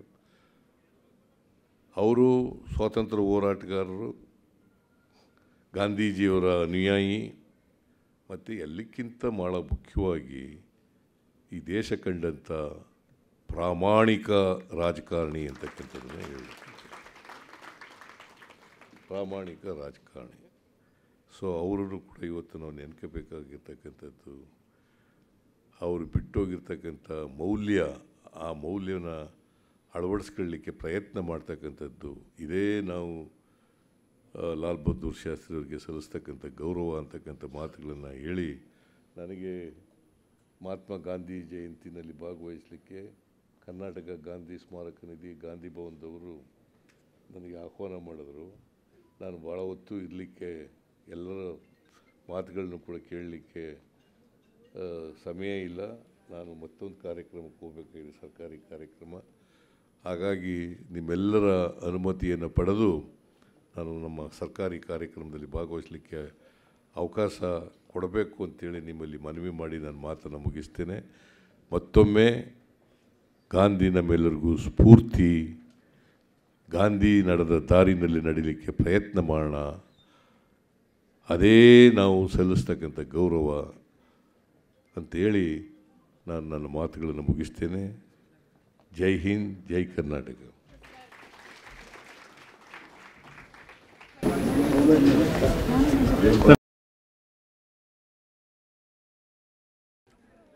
ಬಂಧುಗಳೇ, ಸನ್ಮಾನ್ಯ ಮುಖ್ಯಮಂತ್ರಿಗಳು ಗಾಂಧಿಯವರ ಬಗ್ಗೆ ತುಂಬ ಔಚಿತ್ಯಪೂರ್ಣವಾದ ಮಾತುಗಳನ್ನು ಆಡಿದ್ದಾರೆ.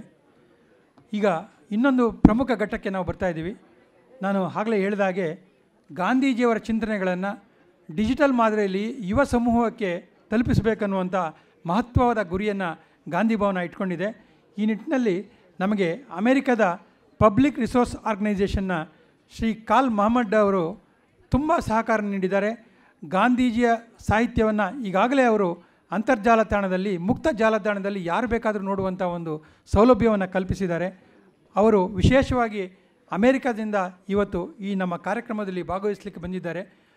ಒಬ್ಬ ವಿದೇಶಿ ವ್ಯಕ್ತಿ ಗಾಂಧೀಜಿಯವನ್ನ ಹೇಗೆ ನೋಡ್ತಾ ಇದ್ದಾರೆ ಮತ್ತು ಗಾಂಧೀಜಿಯ ವಿಚಾರಗಳನ್ನು ನಮ್ಮ ಜನರಿಗೆ ಮುಕ್ತವಾಗಿ ಹಂಚಲಿಕ್ಕೆ ಹೇಗೆ ಪ್ರಯತ್ನ ಪಡ್ತಿದ್ದಾರೆ ಅನ್ನೋದರ ಬಗ್ಗೆ ಅವರ ಅನಿಸಿಕೆಗಳನ್ನು ತಾವು ಕೇಳಬೇಕು ಸಾವಧಾನವಾಗಿ ಅಂತ ನಾನು ನಿಮ್ಮಲ್ಲಿ ವಿನಂತಿ ಮಾಡ್ಕೊಳ್ತಾ ಇದ್ದೇನೆ. I request mister Carl Malamud to give his keynote address thank you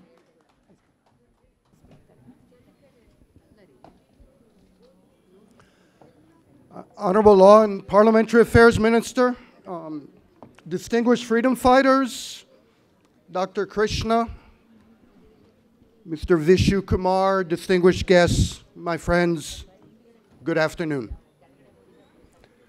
Thank you for inviting me. I'm delighted to be here to celebrate Gandhi Jayanti with you today.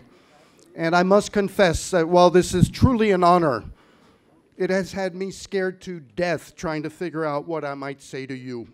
I, have been worrying about this for weeks.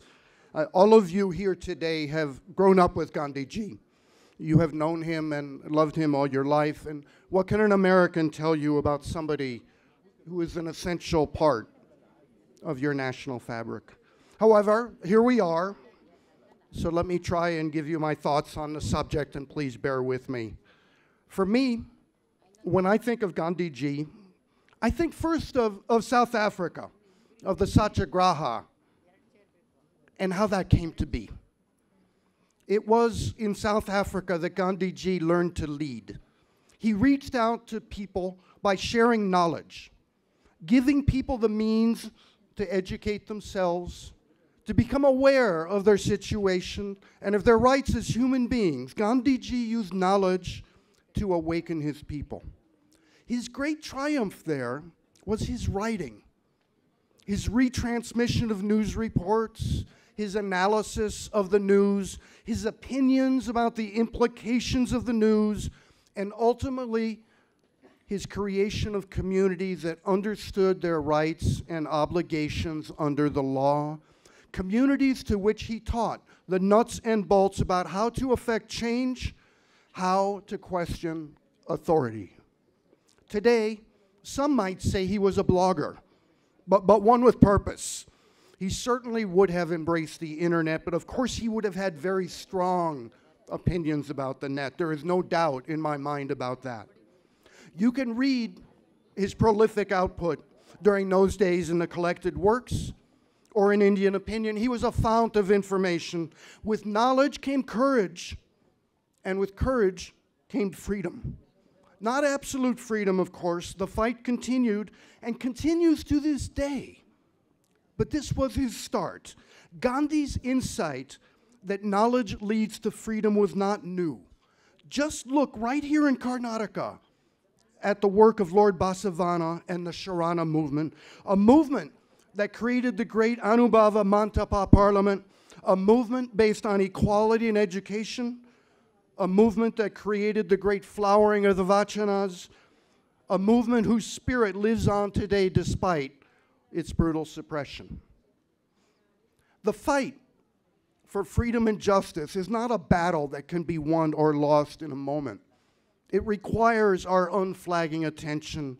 As Martin Luther King said, change does not come rolling in on the wheels of inevitability, it comes only with continuous struggle. Gandhiji embraced two very simple concepts in his work, two powerful tools at the core of his practice. The first was the idea of public work. Public work is work that benefits your community, work done without recompense, an essential part of our function and our duty as citizens. The second concept that Gandhiji embraced was that of bread labor, an idea that he got from the Bible, which teaches that by the sweat of your brow shalt thou eat thy bread. This means you must do some form of real labor every day. You must work for your bread. We must respect all work, and especially respect all those who work. This teaching from the Bible is remarkably similar to the message of the Vachanas that work is worship. Worshipping is not enough. One must work as the means of showing devotion. As is said today, God only helps those who help themselves. You probably think of the chakra when you think of bread labor. The iconic image of Gandhiji at his spinning wheel, his everyday labor. The spinning wheel broke the chain, the chain of indigo and cotton farmers who sent their goods to Manchester, where it became the cloth that was sold back to them. This was a vicious circle. To grow the indigo and the cotton, farmers were forced to take out loans to buy the seed, and a spiral of debt and famine brought India to extreme poverty, a cycle that brought immense wealth to the Raj, but none to the people of India. By spinning, by performing bread labor, the people helped break that cycle and a nation awoke. But in South Africa, where Gandhi first began his public work, bread labor was not spinning cotton. It was printing, it was typesetting. Printing was about spinning words into knowledge. At the Phoenix ashram, everybody worked the printing press. Typesetting was their bread labor. The printing press was a means to propagate knowledge, the means by which individuals educated themselves and each other, the means by which they became a people, a people united, a people that won their Satyagraha campaign. Knowledge gave birth to truth, and truth gave birth to freedom. The increase and diffusion of knowledge is what we are doing here at Gandhi Bhavana, and I thank this amazing institution for giving us this beautiful home from which we can scan. We call ourselves the servants of knowledge. We are now digitizing over 14 lakh pages every month, and we hope to double that capacity soon. Most of us involved in this endeavor have been practicing access to knowledge for many years. Our current efforts in Bengaluru began at the Indian Academy of Sciences, which gave us our first home.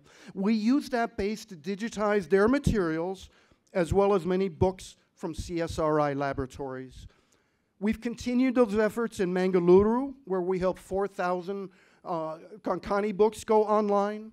We also assisted the Roja Muthaya Library in Chennai, where we continue to work with a number of volunteers who are passionate about the Tamil language. Likewise, we work with Sanskrit and Telugu scholars who help improve the metadata of some of our online collections on the Internet Archive, a collection of over 8 lakh books in over 150 languages. Here in Bengaluru, much of the credit for our work goes to my friend and colleague Om Shiva Prakash, who has been instrumental in putting thousands of books in Kannada online. His work goes back many years. He has assisted the Wikipedia, many other organizations, has done seminal work that goes beyond mere digitization, producing high quality dictionaries, fonts for the Kannada language, and so much more. He's worked with publishers to make some of their older books available under a Creative Commons license so that they may be freely used for non commercial purposes. His work has been widely recognized throughout Karnataka, and I'm proud to work with him. I'd also like to recognize two of my other colleagues who are with here today. Dr. Lawrence Liang is the founding dean of the School of Law at Ambikar University. He's a winner of the prestigious Infosys Prize and a leading light in the fields of intellectual property and film studies. Dr. Sushant Sinha is also here today. He is a creator of the amazing Indian Canoon system that gives free access not only to legal professionals, but to all the people of India, to the judgments of the courts, the acts of the legislatures, the official gazettes, and much more. Both Lawrence and Sushant play an integral role in our efforts. It's a great pleasure to work with both of them. Our scanning has been in many locations. Recently, we worked with the BM Shri Pratishtana, digitizing large portions of their collections. For the last year, we have been working at the National Law School of India University, where we've digitized their entire library, and we'll be making all those books available to the visually impaired at law schools all across India.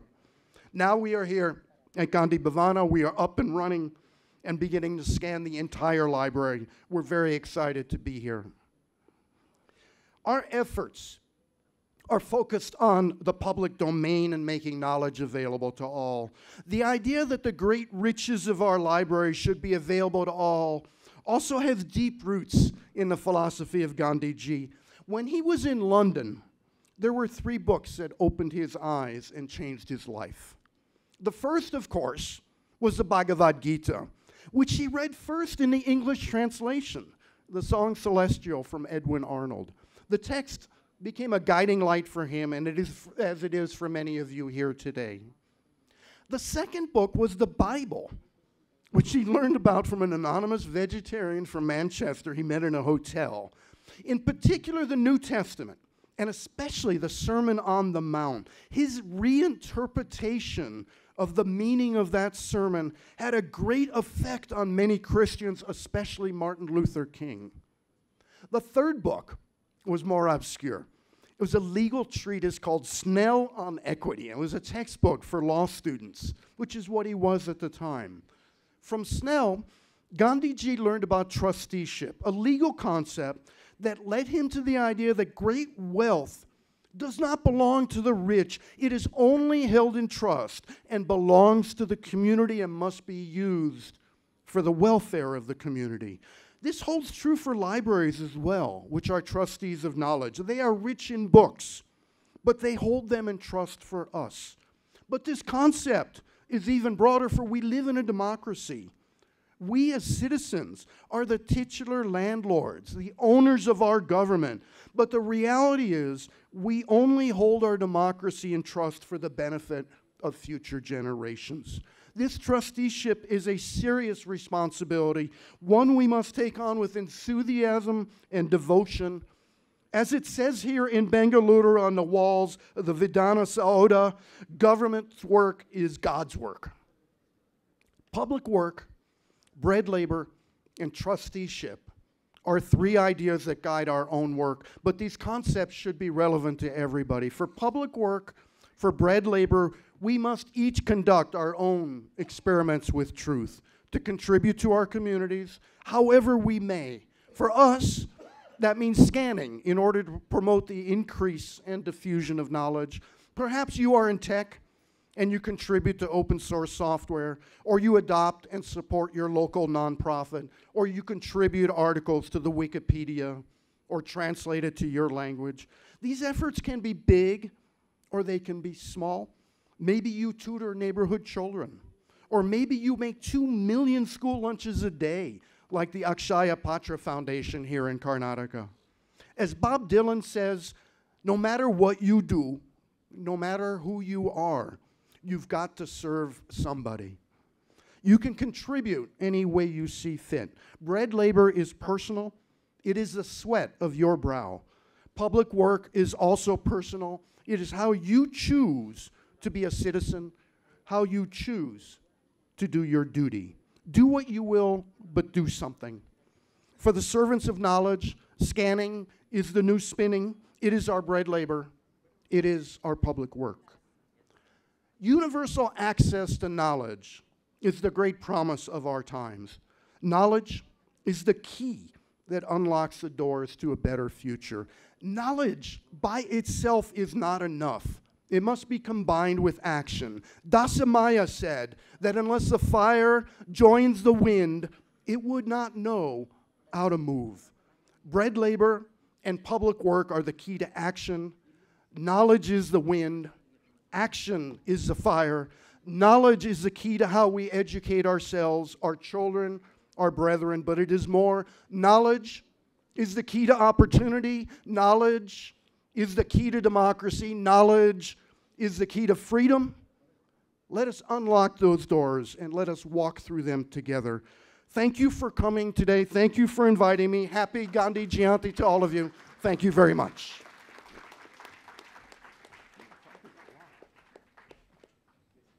ಸನ್ಮಾನ್ಯ ಕಾನೂನು ಮತ್ತು ಸಂಸದೀಯ ಸಚಿವರು ಹಾಗೂ ವೇದಿಕೆಯ ಮೇಲಿರುವ ಎಲ್ಲ ಗಣ್ಯರು ನಮ್ಮ ಡಿಜಿಟಲ್ ತಾಣವನ್ನು ಬಿಡುಗಡೆ ಮಾಡಬೇಕು ಅಂತ ನಾನು ವಿನಂತಿ ಮಾಡ್ಕೊಳ್ತಾ ಇದ್ದೀನಿ. ಕರ್ನಾಟಕ ಗಾಂಧಿ ಸ್ಮಾರಕ ನಿಧಿಯ ಪುಸ್ತಕಗಳ ಡಿಜಿಟೀಕರಣವಾಗಿದೆ. ಅದನ್ನು ಈಗ ಬಿಡುಗಡೆ ಇದ್ದಾರೆ ನಮಸ್ಕಾರ. ಈಗ ಗಾಂಧಿ ಭವನದ ವೆಬ್ಸೈಟನ್ನು ನಾವು ಬಿಡುಗಡೆಗೊಳಿಸಿದ್ವಿ. ಬಿಡುಗಡೆಗೊಳಿಸಿದ್ದೀವಿ ನಂತರ ಗಾಂಧಿ ಭವನದ ಎಲ್ಲ ಪ್ರಕಟಣೆಗಳನ್ನು ಡಿಜಿಟಲೀಕರಿಸಿ ಅವುಗಳನ್ನು ಜನರಿಗೆ ಸಮರ್ಪಿಸಲಾಗಿದೆ. ಇಂಟರ್ನೆಟ್ ಆರ್ಕೈವ್ ಮೂಲಕ ನೀವು ಅದನ್ನು ಆಕ್ಸೆಸ್ ಮಾಡ್ಬೋದು. ಈ ಪ್ಲೇ ಕಾರ್ಡ್ಗಳನ್ನು ಆಚೆ ಇಡ್ತೀವಿ.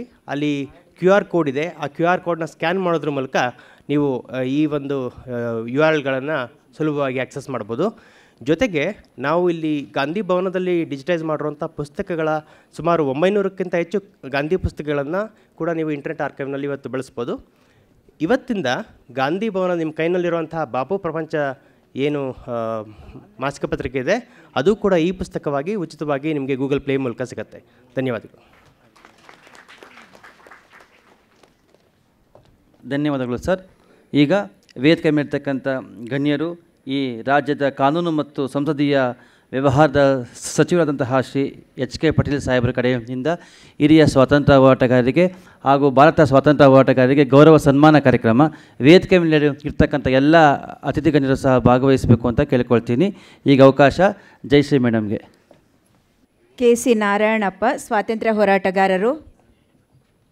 ಶ್ರೀ ಕೆ ಸಿ ನಾರಾಯಣಪ್ಪ ಅವರು ಬೆಂಗಳೂರು ಗ್ರಾಮಾಂತರ ಜಿಲ್ಲೆಯಲ್ಲಿ ಸಾವಿರದ ಒಂಬೈನೂರ ಇಪ್ಪತ್ತೆಂಟರಲ್ಲಿ ಜನಿಸಿದವರಾಗಿದ್ದಾರೆ. ಶ್ರೀಯುತರು ಮಹಾತ್ಮ ಗಾಂಧೀಜಿ, ಜವಾಹರ್ಲಾಲ್ ನೆಹರು ಬಾಲ್ ಗಂಗಾಧರ್ ತಿಲಕ್ ಅವರಿಂದ ಪ್ರೇರಿತರಾಗಿ ಸಾವಿರದ ಒಂಬೈನೂರ ನಲವತ್ತೆರಡರ ಕ್ವಿಟ್ ಇಂಡಿಯಾ ಚಳವಳಿಯಲ್ಲಿ ಭಾಗವಹಿಸಿದ್ದರು.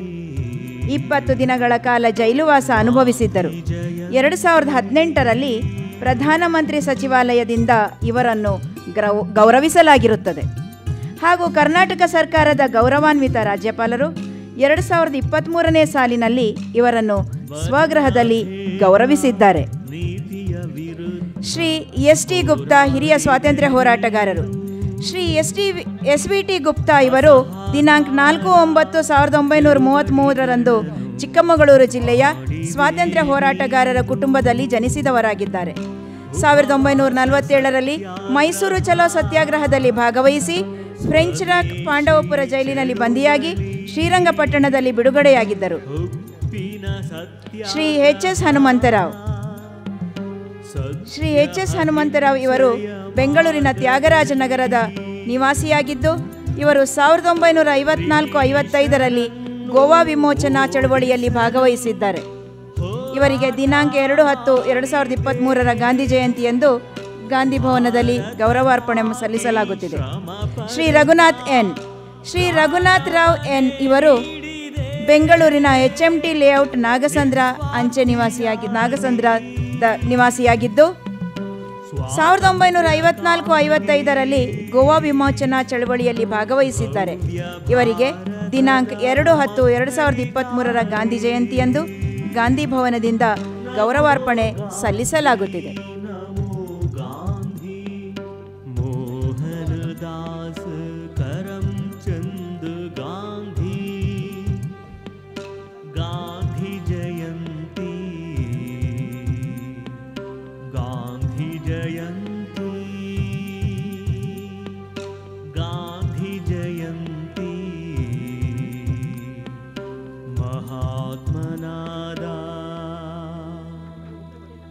गान्धिजयन्ति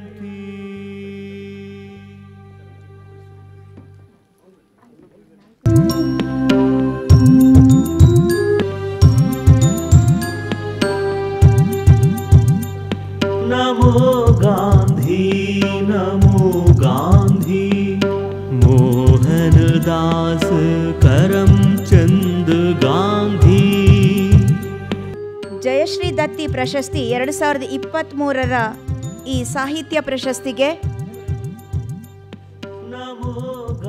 ಆಯ್ಕೆಯಾದವರು ಡಾಕ್ಟರ್ ಎ ಮುರಿಗೆಪ್ಪ. ಕರ್ನಾಟಕ ಗಾಂಧಿ ಸ್ಮಾರಕ ನಿಧಿಯ ನಿಕಟಪೂರ್ವ ಅಧ್ಯಕ್ಷರಾಗಿದ್ದ ಡಾಕ್ಟರ್ ಹೋ ಶ್ರೀನಿವಾಸಯ್ಯ ಅವರು ತಮ್ಮ ಜೀವನ ಸಂಗಾತಿ ಶ್ರೀಮತಿ ಜಯಲಕ್ಷ್ಮಿ ಅವರ ಹೆಸರಿನಲ್ಲಿ ಕರ್ನಾಟಕ ಗಾಂಧಿ ಸ್ಮಾರಕ ನಿಧಿಯಲ್ಲಿ ಜಯಶ್ರೀ ಸಾಹಿತ್ಯ ಪ್ರಶಸ್ತಿಯನ್ನು ಸ್ಥಾಪಿಸಿದ್ದರು. ಈ ವರ್ಷದ ಜಯಶ್ರೀ ಸಾಹಿತ್ಯ ಪ್ರಶಸ್ತಿಗೆ ಡಾಕ್ಟರ್ ಎ ಮುರಿಗಪ್ಪ ಇವರು ರಚಿಸಿರುವ ಅಹಿಂಸಾ ಪ್ರತಿಪಾದಕ ಹುತಾತ್ಮ ಮೈಲಾರ ಮಹಾದೇವ ಕೃತಿಗೆ ಸಂದಿದೆ. ಕೃತಿಕಾರರಾದ ಡಾಕ್ಟರ್ ಎ ಮುರಿಗಪ್ಪ ಇವರು ಕನ್ನಡ ಸಾಹಿತ್ಯ ಕ್ಷೇತ್ರದಲ್ಲಿ ಶೈಕ್ಷಣಿಕ, ಸಾಮಾಜಿಕ, ಮಾನವಿಕ ವಿಷಯಗಳಲ್ಲಿ ಕೃತಿಗಳನ್ನು ರಚಿಸಿದವರು. ಕನ್ನಡ ವಿಶ್ವವಿದ್ಯಾಲಯ ಹಂಪಿ ಇಲ್ಲಿ ಕುಲಪತಿಗಳಾಗಿ ಸೇವೆ ಸಲ್ಲಿಸಿದ್ದಾರೆ. ಇವರ ಅಹಿಂಸಾ ಪ್ರತಿಪಾದಕ ಹುತಾತ್ಮ ಮೈಲಾರ ಮಹಾದೇವ ಕೃತಿಗೆ ಜಯಲಕ್ಷ್ಮಿ ಶ್ರೀನಿವಾಸಯ್ಯ ಸಾಹಿತ್ಯ ಪುರಸ್ಕಾರವನ್ನು ಗಾಂಧೀಜಿ ಅವರ ನೂರ ಐವತ್ನಾಲ್ಕನೇ ಜನ್ಮದಿನಾಚರಣೆಯ ದಿನಾಂಕ ಎರಡು ಹತ್ತು ಇಪ್ಪತ್ತ್ಮೂರರಂದು ಗಾಂಧಿ ಭವನದಲ್ಲಿ ನಡೆದ ಸಮಾರಂಭದಲ್ಲಿ ಡಾಕ್ಟರ್ ಎ ಮುರಿಗಪ್ಪ ಅವರಿಗೆ ಪ್ರದಾನ ಮಾಡಿ ಗೌರವಿಸಲಾಗಿದೆ. ಅಭಿನಂದನೆಗಳು ಸರ್. ಸನ್ಮಾನಿಸಿದ ಪ್ರತಿಯೊಬ್ಬ ಗಣ್ಯರಿಗೂ ಧನ್ಯವಾದಗಳು. ಮಾನ್ಯ ಶ್ರೀ ಎಚ್ ಕೆ ಪಾಟೀಲ್ರವರು, ಮಾನ್ಯ ಕಾನೂನು ಹಾಗೂ ಸಂಸದೀಯ ವ್ಯವಹಾರಗಳ ಸಚಿವರಾಗಿರುವ ಸನ್ಮಾನ್ಯ ಶ್ರೀ ಎಚ್ ಕೆ ಪಾಟೀಲ್ರವರು ನಮ್ಮೆಲ್ಲರನ್ನು ಕುರಿತು ಕೆಲವು ಮಾತುಗಳನ್ನಾಡಬೇಕೆಂದು ಗೌರವದಿಂದ ವಿನಂತಿಸಿಕೊಳ್ಳುತ್ತಿದ್ದೇನೆ. ಕರ್ನಾಟಕ ಗಾಂಧಿ ಸ್ಮಾರಕ ನಿಧಿ ಸರ್ಕಾರದ ವಿವಿಧ ಇಲಾಖೆಗಳು ಕಸ್ತೂರ್ಬಾ ರಾಷ್ಟ್ರೀಯ ಸ್ಮಾರಕ ಟ್ರಸ್ಟ್, ಗಾಂಧಿ ಶಾಂತಿ ಪ್ರತಿಷ್ಠಾನ, ಹುತಾತ್ಮ ಮೈಲಾರ್ ಮಹಾದೇವಪ್ಪ ರಾಷ್ಟ್ರೀಯ ಸ್ಮಾರಕ ಟ್ರಸ್ಟ್, ಇವರೆಲ್ಲರ ಸಂಯುಕ್ತ ಆಶ್ರಯದಲ್ಲಿ ನಡೆದಿರ್ತಕ್ಕಂಥ ಮಹಾತ್ಮ ಗಾಂಧೀಜಿಯವರ ಜನ್ಮ ದಿನಾಚರಣೆಯ ಈ ಪವಿತ್ರ ಸಂದರ್ಭದಲ್ಲಿ ಈ ಕಾರ್ಯಕ್ರಮದ ಅಧ್ಯಕ್ಷತೆಯನ್ನು ವಹಿಸಿಕೊಂಡಿರುವ ಡಾಕ್ಟರ್ ನಾಡೋಜ ಓಡೆ ಪಿ ಕೃಷ್ಣರವರೇ ಸಮಾರಂಭವನ್ನು ಉದ್ಘಾಟನೆ ಮಾಡಿ ಅಗತ್ಯ ಕೆಲಸಕ್ಕಾಗಿ ಮುಂದುವರೆದಿರ್ತಕ್ಕಂಥ ರಾಜ್ಯದ ಮುಖ್ಯಮಂತ್ರಿಗಳಾದ ಸಿದ್ದರಾಮಯ್ಯನವರೇ, ಮುಖ್ಯ ಅತಿಥಿಗಳಾಗಿ ಪಾಲ್ಗೊಂಡಿರ್ತಕ್ಕಂಥ ಪಬ್ಲಿಕ್ ರಿಸೋರ್ಸ್ ಸ್ಥಾಪಕ ಅಧ್ಯಕ್ಷರು ಆಗಿರ್ತಕ್ಕಂಥ ಶ್ರೀ ಕಾರ್ಲ್ ಮಲ್ಮಾಡ್ರವರೇ, ಲಾರೆನ್ಸ್ ಲಿಯಾಂಗ್ರವರೇ He is Dean of Dr. B.R. Ambedkar University, New Delhi. Pratap ಲಿಂಗಯ್ಯನವರೇ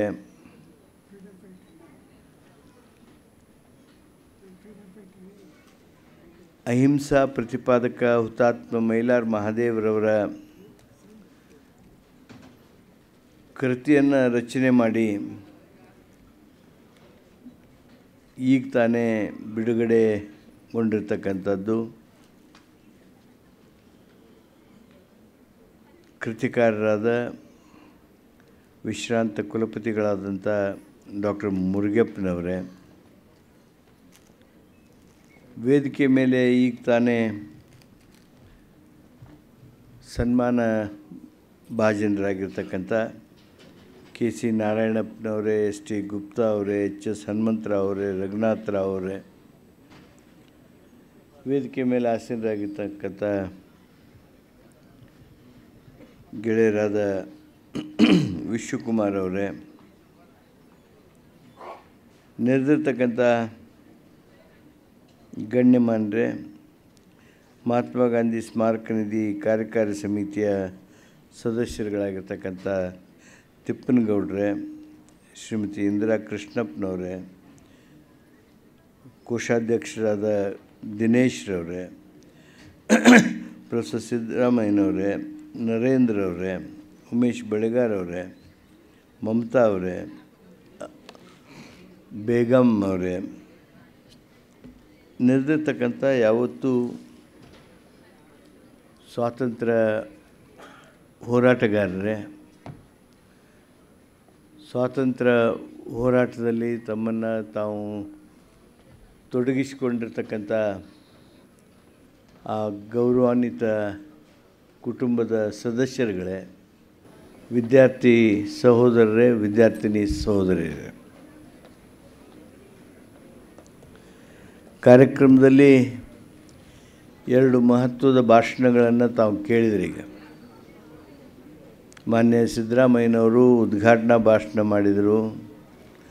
ಗಾಂಧೀಜಿಯವ್ರ ಬಗ್ಗೆ ಜನರ ಅಭಿಪ್ರಾಯ ಏನು ಅನ್ನೋದನ್ನು ಹೇಳಿದರು. ಜವಾಹರ್ಲಾಲ್ ನೆಹರು ಏನು ಹೇಳಿದರು ಅನ್ನೋದನ್ನು ಹೇಳಿದರು. ತಮ್ಮ ಆಶಯಗಳನ್ನು ವ್ಯಕ್ತ ಮಾಡಿದರು. ಮಾನ್ಯ ಶ್ರೀ ಕಾರ್ಲ್ ಮಲಾಮಡ್ ಅಮೇರಿಕೆಯ ಈ ದೊಡ್ಡ ತಜ್ಞ ಗಾಂಧಿಯನ್ನು ಅತ್ಯಂತ ಹೃದಯಕ್ಕೆ ಸಮೀಪಿಟ್ಟುಕೊಂಡು ಗೌರವಿಸಿದವರು I was telling that you are the one who has kept Gandhiji close to your heart and he you are respecting him the words you are using the language that you used for uh, remembering gandhi and uh, the way you expressed your gratitude to those who are associated with gandhi that all makes it very clear for all of us the love, affection, respect, and your uh, deep commitment and sincere acceptance of the philosophy that Gandhiji really preached all of us. we are really moved and uh, thank you for your sentiments. And more than that, ಗೆಳೆಯರು ನೋಡ್ರಿ ನನಗೆ ವಿಶ್ವಕುಮಾರ್ ಹೇಳ್ತಾ ಇದ್ದರು ಗಾಂಧಿ ಭವನದಲ್ಲಿ ಏನು ಪುಸ್ತಕಗಳದಾವು, ಏನು ಪುಸ್ತಕಗಳು ಮುಂದೆ ಲಭ್ಯ ಆಗ್ತಾವೆ, ಅವು ಎಲ್ಲವುಗಳನ್ನು ಡಿಜಿಟಲೈಸ್ ಮಾಡಿ, ಆ ಡಿಜಿ, ಡಿಜಿಟಲೈಸ್ ಮಾಡೋದಕ್ಕೆ ಏನೇನು ಬೇಕು ಅನುಕೂಲ ಅದನ್ನು ಎಲ್ಲವನ್ನು ಪೂರೈಸಿ, ಈಗಾಗಲೇ ಹತ್ತು ಲಕ್ಷ ಪೇಜ್ಗಿಂತ ಹೆಚ್ಚು ಪೇಜ್ಗಳು ಡಿಜಿಟಲೈಸ್ ಮಾಡಿಸೋದ್ರಲ್ಲಿ ಕಾರ್ಲ್ ಮಲ್ಮಾಡ್ರವರ ದೊಡ್ಡ ಕೊಡುಗೆ ಇದೆ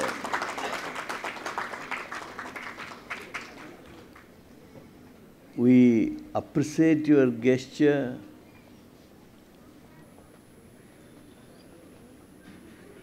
Somehow I am not able to find words to express the gratefulness that all of us should have. You have made wonderful contribution to this Gandhi Bhavan and Gandhi literature, uh, which will be made available in every house, every mobile um, from today. Uh, we really congratulate you and convey our uh, deep sense of gratitude for all what you have done for uh, Gandhi literature and uh, of of us. You. ಗೆಳೆಯರೆ ಗಾಂಧೀಜಿಯನ್ನು ಟೀಕೆ ಮಾಡ್ತಾರೆ ಗಾಂಧೀಜಿ ಬಗ್ಗೆ ಅಲ್ಲಸಲ್ಲದ ಮಾತು ಹೇಳೋದಕ್ಕೆ ಪ್ರಯತ್ನ ಮಾಡ್ತಾರೆ ಈ ಪ್ರಚಾರದ ಆಸಕ್ತಿಗಾಗಿ ಏನು ಬೇಕಾದ್ದು ಮಾತಾಡಿ ಇವತ್ತು ಜನರ ಮನಸ್ಸನ್ನು ಮಲಿನ ಮಾಡೋದಕ್ಕೆ ಪ್ರಯತ್ನಿಸ್ತಾರೆ, ಅವ್ರ ಮೇಲೆ ಕ್ರಮ ತಗೋಬೇಕು ಅನ್ನೋದು ಅವರ ಆಕ್ರೋಶದ ಹಿನ್ನೆಲೆ ಆಗಿತ್ತು. ಮಾನ್ಯ ಮುಖ್ಯಮಂತ್ರಿಗಳು ಆ ಕಡೆ ಬಂದರು. ಅದು ಏನನ್ನೋದು ಅವ್ರಿಗೆ, ಅವ್ರು ಹೋಗುವಾಗ ಹೇಳಿದರು ಅವರು ಚಿಂತೆ ಮಾಡಬೇಡಿ, ನಾವು ಕ್ರಮ ತೆಗೆದುಕೋತೀವಿ ಅಂತ ಹೇಳಿದರು. ಕೆಲವೇ ಕೆಲವು ಸೆಕೆಂಡ್ಗಳ ನಂತರ ನಮ್ಮ ಗಾಂಧಿ ಸ್ಮಾರಕ ನಿಧಿಯ ಅಧ್ಯಕ್ಷರಾದ ಓಡೆ ಕೃಷ್ಣರವರು ನನಗೊಂದು ಮೆಸೇಜ್ ತೋರಿಸಿದರು.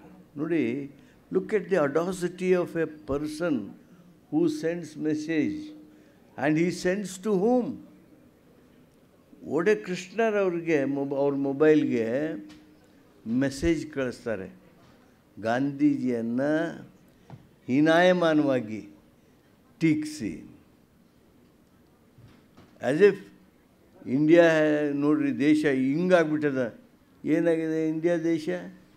ದೇಶದ ಮೇಲೆ ಅಭಿಮಾನ ಇಲ್ಲದೆ ಇರತಕ್ಕಂಥ ಯಾವುದೋ ಕೆಟ್ಟ ಮನಸ್ಸಿನ, ವಿಕೃತ ಮನಸ್ಸಿನ ಕೆಲವರು ಗಾಂಧೀಜಿಯವ್ರನ್ನ ಟೀಕೆ ಮಾಡೋದಕ್ಕೆ ಬಹಳಷ್ಟು ಒತ್ತಡಗಳು ಸರ್ಕಾರಗಳ ಮೇಲೆ ಇವೆ. ದೇಶವನ್ನು ಟೀಕೆ ಮಾಡೋರು ಅಥವಾ ಅನವಶ್ಯಕವಾಗಿ ಜನರ ಮನಸ್ಸಿನೊಳಗೆ ಗೊಂದಲ ಸೃಷ್ಟಿ ಮಾಡಬೇಕನ್ನೋರು, ಸುಳ್ಳು ಮಾಹಿತಿಗಳನ್ನು ಹಂಚೋರು, ಏನೋ ಹೇಳಿ ತಪ್ಪಿಸ್ಕೊಂಡು ಓಡಿ ಹೋಗ್ಬಿಡೋರು, ಇವ್ರ ಮೇಲೆ ಕಾನೂನಿನ ಕ್ರಮ ಆಗುವಂಗೆ ಆಗಬೇಕು.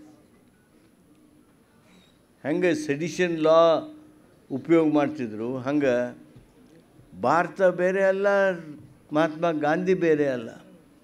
ನಮ್ಮ ರಾಷ್ಟ್ರಪಿತನ ಬಗೆಗೆ ಈ ರೀತಿ ಅವಹೇಳನ ಮಾಡ್ತಕ್ಕಂಥ ಯಾವುದಾದ್ರೂ ಕುಕೃತ್ಯ ನಡೆದರೆ ಅದ್ರ ಮೇಲೆ ಕ್ರಮ ಜರುಗಿಸುವ ಹಾಗೆ ನಿಮ್ಮೆಲ್ಲರ ಮನಸ್ಸೇನದ, ನಿಮ್ಮ ಅಭಿಪ್ರಾಯ ಏನದ, ಅದನ್ನು ಕಾನೂನಾತ್ಮಕವಾಗಿ ಒಂದು ರೂಪ ಕೊಡೋದಕ್ಕೆ ಸಾಧ್ಯ ಅನ್ನೋದ್ರ ಬಗ್ಗೆ ಸರ್ಕಾರ ಚಿಂತನೆ ಮಾಡ್ತದೆ ಅನ್ನುವಂಥ ಮಾತನ್ನು ಈ ಸಂದರ್ಭದೊಳಗೆ ಹೇಳೋದರ ಜೊತೆಗೆ ಬಂಧುಗಳೇ ಮೊನ್ನೆ ಮುಖ್ಯಮಂತ್ರಿಗಳು ಹೇಳಿದರು. ಜವಾಹರ್ಲಾಲ್ ನೆಹರು ಅವರು ಹೇಳ್ತಾರೆ, ಎಲ್ಲಿ ಗಾಂಧೀಜಿಯವ್ರು ಕುಳಿತಿದ್ರೋ ಅದೇ ದೇವಾಲಯ, ಎಲ್ಲಿ ಅವರು ಅಡ್ಡಾಡಿದ್ರೋ అదే పవిత్ర See, this is not told by somebody who was just an ardent follower of Gandhiji. This was told by no less than one who served with him the nation for long, long years, who also became the Prime Minister of the country, first Prime Minister of the country, Mr. Jawaharlal Nehru. ಆ ಮಾತಿಗೆ ಇರುವ ತೂಕ, ಅದು ನಾವು ಇಲ್ಲೇನು ಗಾಂಧೀಜಿಯವರ ಅನುಯಾಯಿಗಳಾಗಿ ಸ್ವಾತಂತ್ರ್ಯ ಹೋರಾಟ ಮಾಡಿದರು, ಇವತ್ತು ನಮ್ಮ ಸನ್ಮಾನಕ್ಕೆ, ನಮ್ಮ ಗೌರವಕ್ಕೆ ಭಾಜನರಾಗಿದ್ದಾರೆ, ಇವರೆಲ್ಲರೂ ಮಹಾತ್ಮ ಗಾಂಧಿಯವ್ರನ್ನ ಹಂಗೆ ತಿಳಿದ್ರು. ನಾನು ಒಂದು ಸಲ ಒಬ್ಬ ಸ್ವಾಮೀಜಿಯವರ ಭಾಷಣಕ್ಕೆ ಹೋಗಿದ್ದೆ, ಜನ ಓಡೋಡಿ ಬರ್ತಿತ್ತು. ಅವಾಗ ನಾನು ನನ್ನ ಜೊತೆಗಿದ್ದಂಥ ಒಬ್ಬ ನನ್ನ ಹಿರಿಯನನ್ನು ಕೇಳಿದೆ, ಹಿಂಗೆ ಜನ ಬರೋದು ನೋಡಿದ್ರೇನ್ರಿ ನೀವು? ಅಂಥೇಳಿ. ಏ, ಇದ್ರ ನಾಲ್ಕು ಪಟ್ಟು ಗಾಂಧೀಜಿ ಬರ್ತಾರ ಅಂದರೆ ಓಡೋಡಿ ಬರ್ತಿತ್ತು ನೋಡ್ರಿ ಮಂದಿ ಅವಾಗ, ಅಂಥೇಳಿ ನೆನಪು ಮಾಡ್ಕೊಂಡು ಮಾಡ್ಕೊಂಡು ಹೇಳ್ತಿದ್ರು. ಅಂಥ ನಾಯಕ. ಕಾಂಗ್ರೆಸ್ಸನ್ನು ಜನಸಾಮಾನ್ಯರತ್ತ ಓದಂತಕ್ಕಂಥವ್ರು. ಸ್ವಾತಂತ್ರ್ಯ ಸಂಗ್ರಾಮವನ್ನು, ಜನರ ಸಂಗ್ರಾಮವನ್ನಾಗಿ ಮಾಡಿರ್ತಕ್ಕಂಥವರು, ಪ್ರತಿ ಹಂತದಲ್ಲೂ ಬಡವನನ್ನು ತನ್ನ ಗುರಿಯನ್ನಾಗಿಟ್ಕೊಂಡು, ಅವನ ಕಲ್ಯಾಣಕ್ಕಾಗಿ ಚಿಂತನೆಗಳನ್ನು ಬಿತ್ತರಿಸಿದವರು, ಯಾವುದೇ ಸಂದರ್ಭದಲ್ಲಿ ಏನು ಮೌಲ್ಯಗಳದಾವು, ಆ ಮೌಲ್ಯಗಳಿಗೆ ರಜೆ ಆಗದ ಹಾಗೆ ಒತ್ತು ಕೊಟ್ಟು ಸಾರ್ವಜನಿಕ ಬದುಕು ಇರಬೇಕು ಅನ್ನುವಂಥ ಸತತ ತಮ್ಮ ಮಾರ್ಗದರ್ಶನ ಮಾಡಿದವರು ಮಹಾತ್ಮ ಗಾಂಧೀಜಿಯವರು. ಮಹಾತ್ಮ ಗಾಂಧೀಜಿಯವರ ಒಂದು ವಿಶೇಷ ಅಂದರೆ ಅವರ ಸರಳತೆ. ಅವ್ರು ಏನು ಮಾಡ್ಯಾರ, ಅವನು ಮಾಡೋದಕ್ಕೆ ಯಾರಿಗೂ ಏನೇನೂ ಅಡ್ಡಿ ಇಲ್ಲ, ಏನೂ ತೊಂದರೆಗಳಿರೋದಲ್ಲ. ಸರಳ ಇರಬೇಕು, ಸಿಂಪಲ್ ಇರಬೇಕು. ಸತ್ಯ ಹೇಳಬೇಕು ಯಾರಿಗೂ ಹಿಂಸೆ ಮಾಡಬೇಡ್ರಿ these will not cost you anything the maximum that which will happen is your ego will be little hurt you may feel little embarrassed. When you tell the truth, sometimes you will feel embarrassed because you will be projecting yourself in a different way. And when you come to the truth, naturally that embarrassment will be there, but uh, it is not difficult. ಈ ಮೌಲ್ಯಗಳೇನದಾವು the values of life ಇವುಗಳಿಗೆ ವಿಶೇಷ ಮಹತ್ವ ಕೊಟ್ಟು ಮಹಾತ್ಮ ಗಾಂಧೀಜಿಯವರು ನಮಗೆಲ್ಲ ಮಾರ್ಗದರ್ಶನ ಮಾಡಿದ್ದಾರೆ. ಇವತ್ತು ದೇಶ ಈ ಎತ್ತರಕ್ಕೆ ಬರಬೇಕು ಅಂದರೆ ಅದಕ್ಕೆ ಮಹಾತ್ಮ ಗಾಂಧೀಜಿಯವರು ನಮಗೇನು ಸ್ವಾತಂತ್ರ್ಯ ಕೊಡಿಸಿದರು. ಅವರ ಅನುಯಾಯಿಗಳು ಅವರ ಮಾರ್ಗದರ್ಶನದಲ್ಲಿ ಬೆಳೆದಿರ್ತಕ್ಕಂಥವರು ಏನು ದೇಶವನ್ನು ಮುನ್ನಡೆಸಿದ್ದಾರೆ, ಅವರೆಲ್ಲರಿಗೆ ನಾವು ಈ ಸಂದರ್ಭದೊಳಗೆ ನಮ್ಮ ಗೌರವಪೂರ್ಣವಾಗಿರ್ತಕ್ಕಂಥ ವಂದನೆಗಳನ್ನು ಹೇಳ್ತಾ, ಈ ಗಾಂಧಿ ಭವನದಲ್ಲಿ ಒಂದು ಪ್ರಾಜೆಕ್ಟು ಅದು ಅನಿವಾರ್ಯವಾಗಿ ಐದು ವರ್ಷ ನಿಂತ್ಕೊಂಡು ಬಿಡ್ತು ಅದು ಉಳಿದಿದೆ, ಈ ಗಾಂಧಿ ಮಾಡೋದು. ಈ ಗಾಂಧಿ ಹೆಂಗೆ ದೆಹಲಿ ಬಿರ್ಲಾ ಭವನದೊಳಗೆ ಮಾಡಿದ್ದಾರೆ, ಆ ಥರದಾಗಿ ಮಾಡಬೇಕು ಅಂಥೇಳಿ ನಾವೆಲ್ಲ ಪ್ಲ್ಯಾನ್ ಮಾಡಿದ್ವಿ, ನಿಂತು ಹೋಗಿದೆ. ನಾನು ಹೋ ಶ್ರೀನಿವಾಸ ಅಯ್ಯನವರ ಕನಸದು ಆ ಕನಸು ನನಸು ಮಾಡೋದ್ರೊಳಗೆ ಬಹಳ ವಿಳಂಬ ಆಗಿದೆ. ನಾನು ಎರಡು ಸಲ ಇದೇ ವೇದಿಕೆ ಮೇಲೆ ಅದರ ಬಗ್ಗೆ ಪ್ರಸ್ತಾಪ ಮಾಡಿದ್ದೆ, ಜವಾಬ್ದಾರಿನೂ ತಗೊಂಡಿದ್ದೆ, ಆದರೆ ಅದು ಕನಸು ನನಸು ಮಾಡೋದಕ್ಕೆ ಸಾಧ್ಯ ಆಗಿರಲಿಲ್ಲ. ಇವತ್ತಿನಿಂದ ನಾನು ಓಡೆ ಕೃಷ್ಣ ಅವರು ಆ ಕೆಲಸಕ್ಕೆ ಹತ್ಕೋತೀವಿ. ವಿಶ್ವಕುಮಾರ್ ಆಗಲಿ, ಮಾನ್ಯ ದಿನೇಶ್ ಅವರಾಗಲಿ, ನಮಗೆ ಈ ದಿಸೆಯೊಳಗೆ ನಿಮ್ಮ ವಿಶೇಷವಾದ ಮಾರ್ಗದರ್ಶನ ಅವಶ್ಯದೆ ಅನ್ನುವಂಥ ಮಾತನ್ನು ಹೇಳಿ. ಮತ್ತೊಮ್ಮೆ ಈ ಗಾಂಧಿ ಜಯಂತಿಯ ದಿವಸ ತಾವೆಲ್ಲ ಇಷ್ಟು ಉತ್ಸಾಹದಿಂದ ಏನು ಬಂದಿದ್ದೀರಿ? ನಿಮಗೆ ಅಭಿನಂದನೆಗಳು. ಮಾನ್ಯ ಮುರುಗಪ್ಪನವರು ಮೈಲಾರ್ ಮಹಾದೇವರ ಪುಸ್ತಕ ಅಹಿಂಸೆ ಪ್ರತಿಪಾದಕ ಹುತಾತ್ಮ ಮೈಲಾರ್ ಮಹಾದೇವನು ಪುಸ್ತಕವನ್ನು ಬರೆದಿದ್ದಾರೆ. ಅದನ್ನು ನನಗೆ ನಾವೆಲ್ಲ ಸಣ್ಣ ಹುಡುಗರಿದ್ದಾಗಿಂದ ನೋಡ್ತಾ ಇದ್ದದ್ದು ಮಹಿಳಾ ಮಹಾದೇವ್ರನ್ನ ಸುಭಾಷ್ ಚಂದ್ರರ ಅನುಯಾಯಿಗಳಂತೇಳಿನ. ಅವರು ತಮ್ಮ ಅಂತ್ಯದ ಕ್ಷಣಗಳಲ್ಲಿ ತಾವು ಹೋರಾಟ ಮಾಡಿ ಸಾವನ್ನು ಆಹ್ವಾನಿಸಿದವರು ಅಂತಲೇ ನಮ್ಮದು ಇವತ್ತಿನವರೆಗೂ ನಮ್ಮ ಅನಿಸಿಕೆಗಳು. ಆ ಅನಿಸಿಕೆಗಳನ್ನು ಇನ್ನೂ ನಾವು ಇಟ್ಕೊಂಡಿದ್ದೀವಿ. ಈ ನಿಮ್ಮ ಪುಸ್ತಕ ನಮ್ಮ ಅನಿಸಿಕೆಗಳನ್ನು ಬದಲಾಯಿಸ್ತದನೋ ಅಥವಾ ನಾವು ನಿಮ್ಮ ಜೊತೆಗೆ ಚರ್ಚೆ ಮಾಡಬೇಕಾಗಿ ಬರ್ತದನೋ ಆ ಒಂದು ಸಂದರ್ಭದಲ್ಲಿ ಮಾಡೋಣ. ಈ ಉತ್ತಮವಾಗಿ ಪುಸ್ತಕವನ್ನು ತಂದಿದ್ದಾರೆ. ಅವರಿಗೆ ನಾನು ಕೃತಜ್ಞತೆಯನ್ನು ಹೇಳ್ತೀನಿ. ನಾನು ಈ ಸಂದರ್ಭದಲ್ಲಿ ಡಾಕ್ಟರ್ ಹೋ ಶ್ರೀನಿವಾಸಯ್ಯನವರು ಅವ್ರನ್ನ ನೆನಪು ಮಾಡಿಕೊಳ್ಬೇಕಾದ್ದು ನಮ್ಮದೆಲ್ಲರದ್ದು ಕರ್ತವ್ಯ. ಇವತ್ತು ಗಾಂಧೀಜಿಯನ್ನು ಬೆಂಗಳೂರಿನೊಳಗೆ ನಮ್ಮೆಲ್ಲರಿಗೆ ನೆನಪು ಮ್ಯಾಲಿಂದ ಮೇಲೆ ಮಾಡಿಕೊಡೋದಕ್ಕೆ ಕಾರಣ ಆದವ್ರಂದ್ರೆ ಹೋ ಶ್ರೀನಿವಾಸಯ್ಯನವರು. ಇಲ್ಲದೇ ಇದ್ದರೆ ನಾವು ಯಾರು ಗಾಂಧೀಜಿಯವ್ರನ್ನೆಲ್ಲ ಹಡ ತಂದೆ ತಾಯಿನೂ ನೆನಪು ಸಮಾಜ ನಮ್ಮದು ಆದರೆ ಹೋ ಶ್ರೀನಿವಾಸಯ್ಯನವರು ಮಾಡಿರ್ತಕ್ಕಂಥ ಆ ಪ್ರಯತ್ನ. ಇವತ್ತು ಅವರ ಕುಟುಂಬದವರು ಸಹೋದರಿ ಶ್ರೀಮತಿ ಶಶಿಕೃಷ್ಣರವರು ನಮ್ಮ ಜೊತೆಗಿದ್ದಾರೆ. ಅವರ ಇರುವಿಕೆ ನಮಗೆ ಸಮಾಧಾನ ತರ್ತೈತಿ.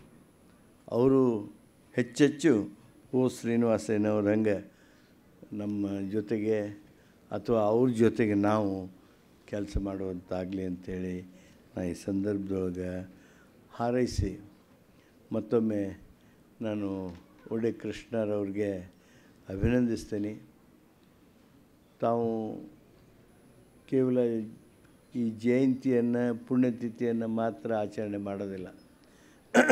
ನಿಮಗೆ ಭಾಳ ಮಂದಿಗೆ ಆಶ್ಚರ್ಯ ಆಗ್ಬೋದು.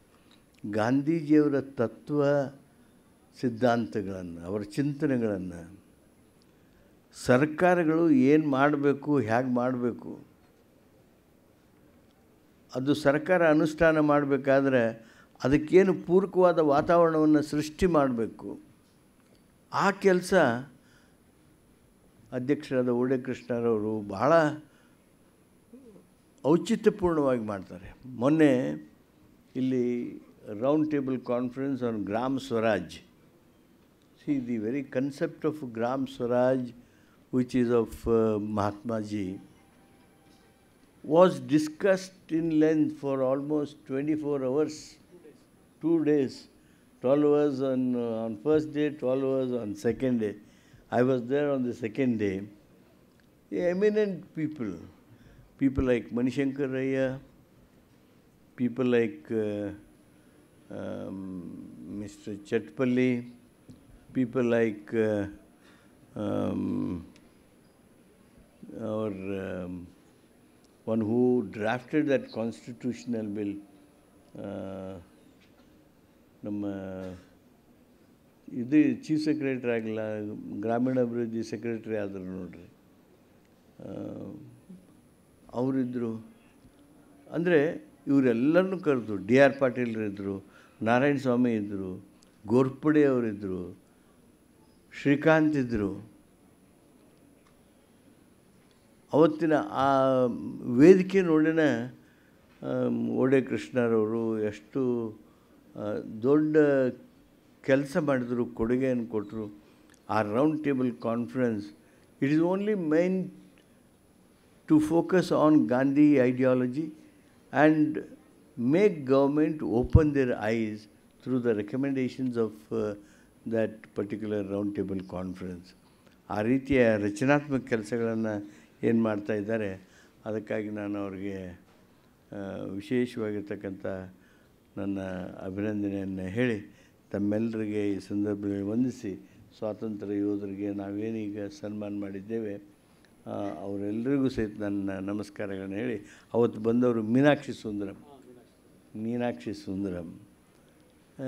Really he, he is one who drafted the bill of uh, um, constitution amendment 73 and 74 ಅವರೆಲ್ಲರೂ ಇದ್ದಿದ್ದು ಭಾಳ ಸಂತೋಷ ಆಗಿತ್ತು. ಮತ್ತೊಮ್ಮೆ ನಿಮ್ಮೆಲ್ಲರಿಗೂ ವಂದಿಸಿ ನಾನು ಮಾತನ್ನು ಮುಗಿಸ್ತೀನಿ. ಧನ್ಯವಾದಗಳು. ಈಗ ಕಾರ್ಯಕ್ರಮದ ವಂದನಾರ್ಪಣೆಯನ್ನು ನೆರವೇರಿಸಬೇಕು ಅಂತೇಳಿ ಕರ್ನಾಟಕ ಗಾಂಧಿ ಸ್ಮಾರಕ ನಿಧಿಯ ಗೌರವ ಕಾರ್ಯದರ್ಶಿಗಳು ಶ್ರೀಮತಿ ಇಂದಿರಾ ಕೃಷ್ಣಪ್ಪ ಮೇಡಮ್ ಅವ್ರನ್ನ ಕೇಳ್ಕೊಳ್ತೀನಿ. ಎಲ್ಲರಿಗೂ ವಂದನೆಗಳು.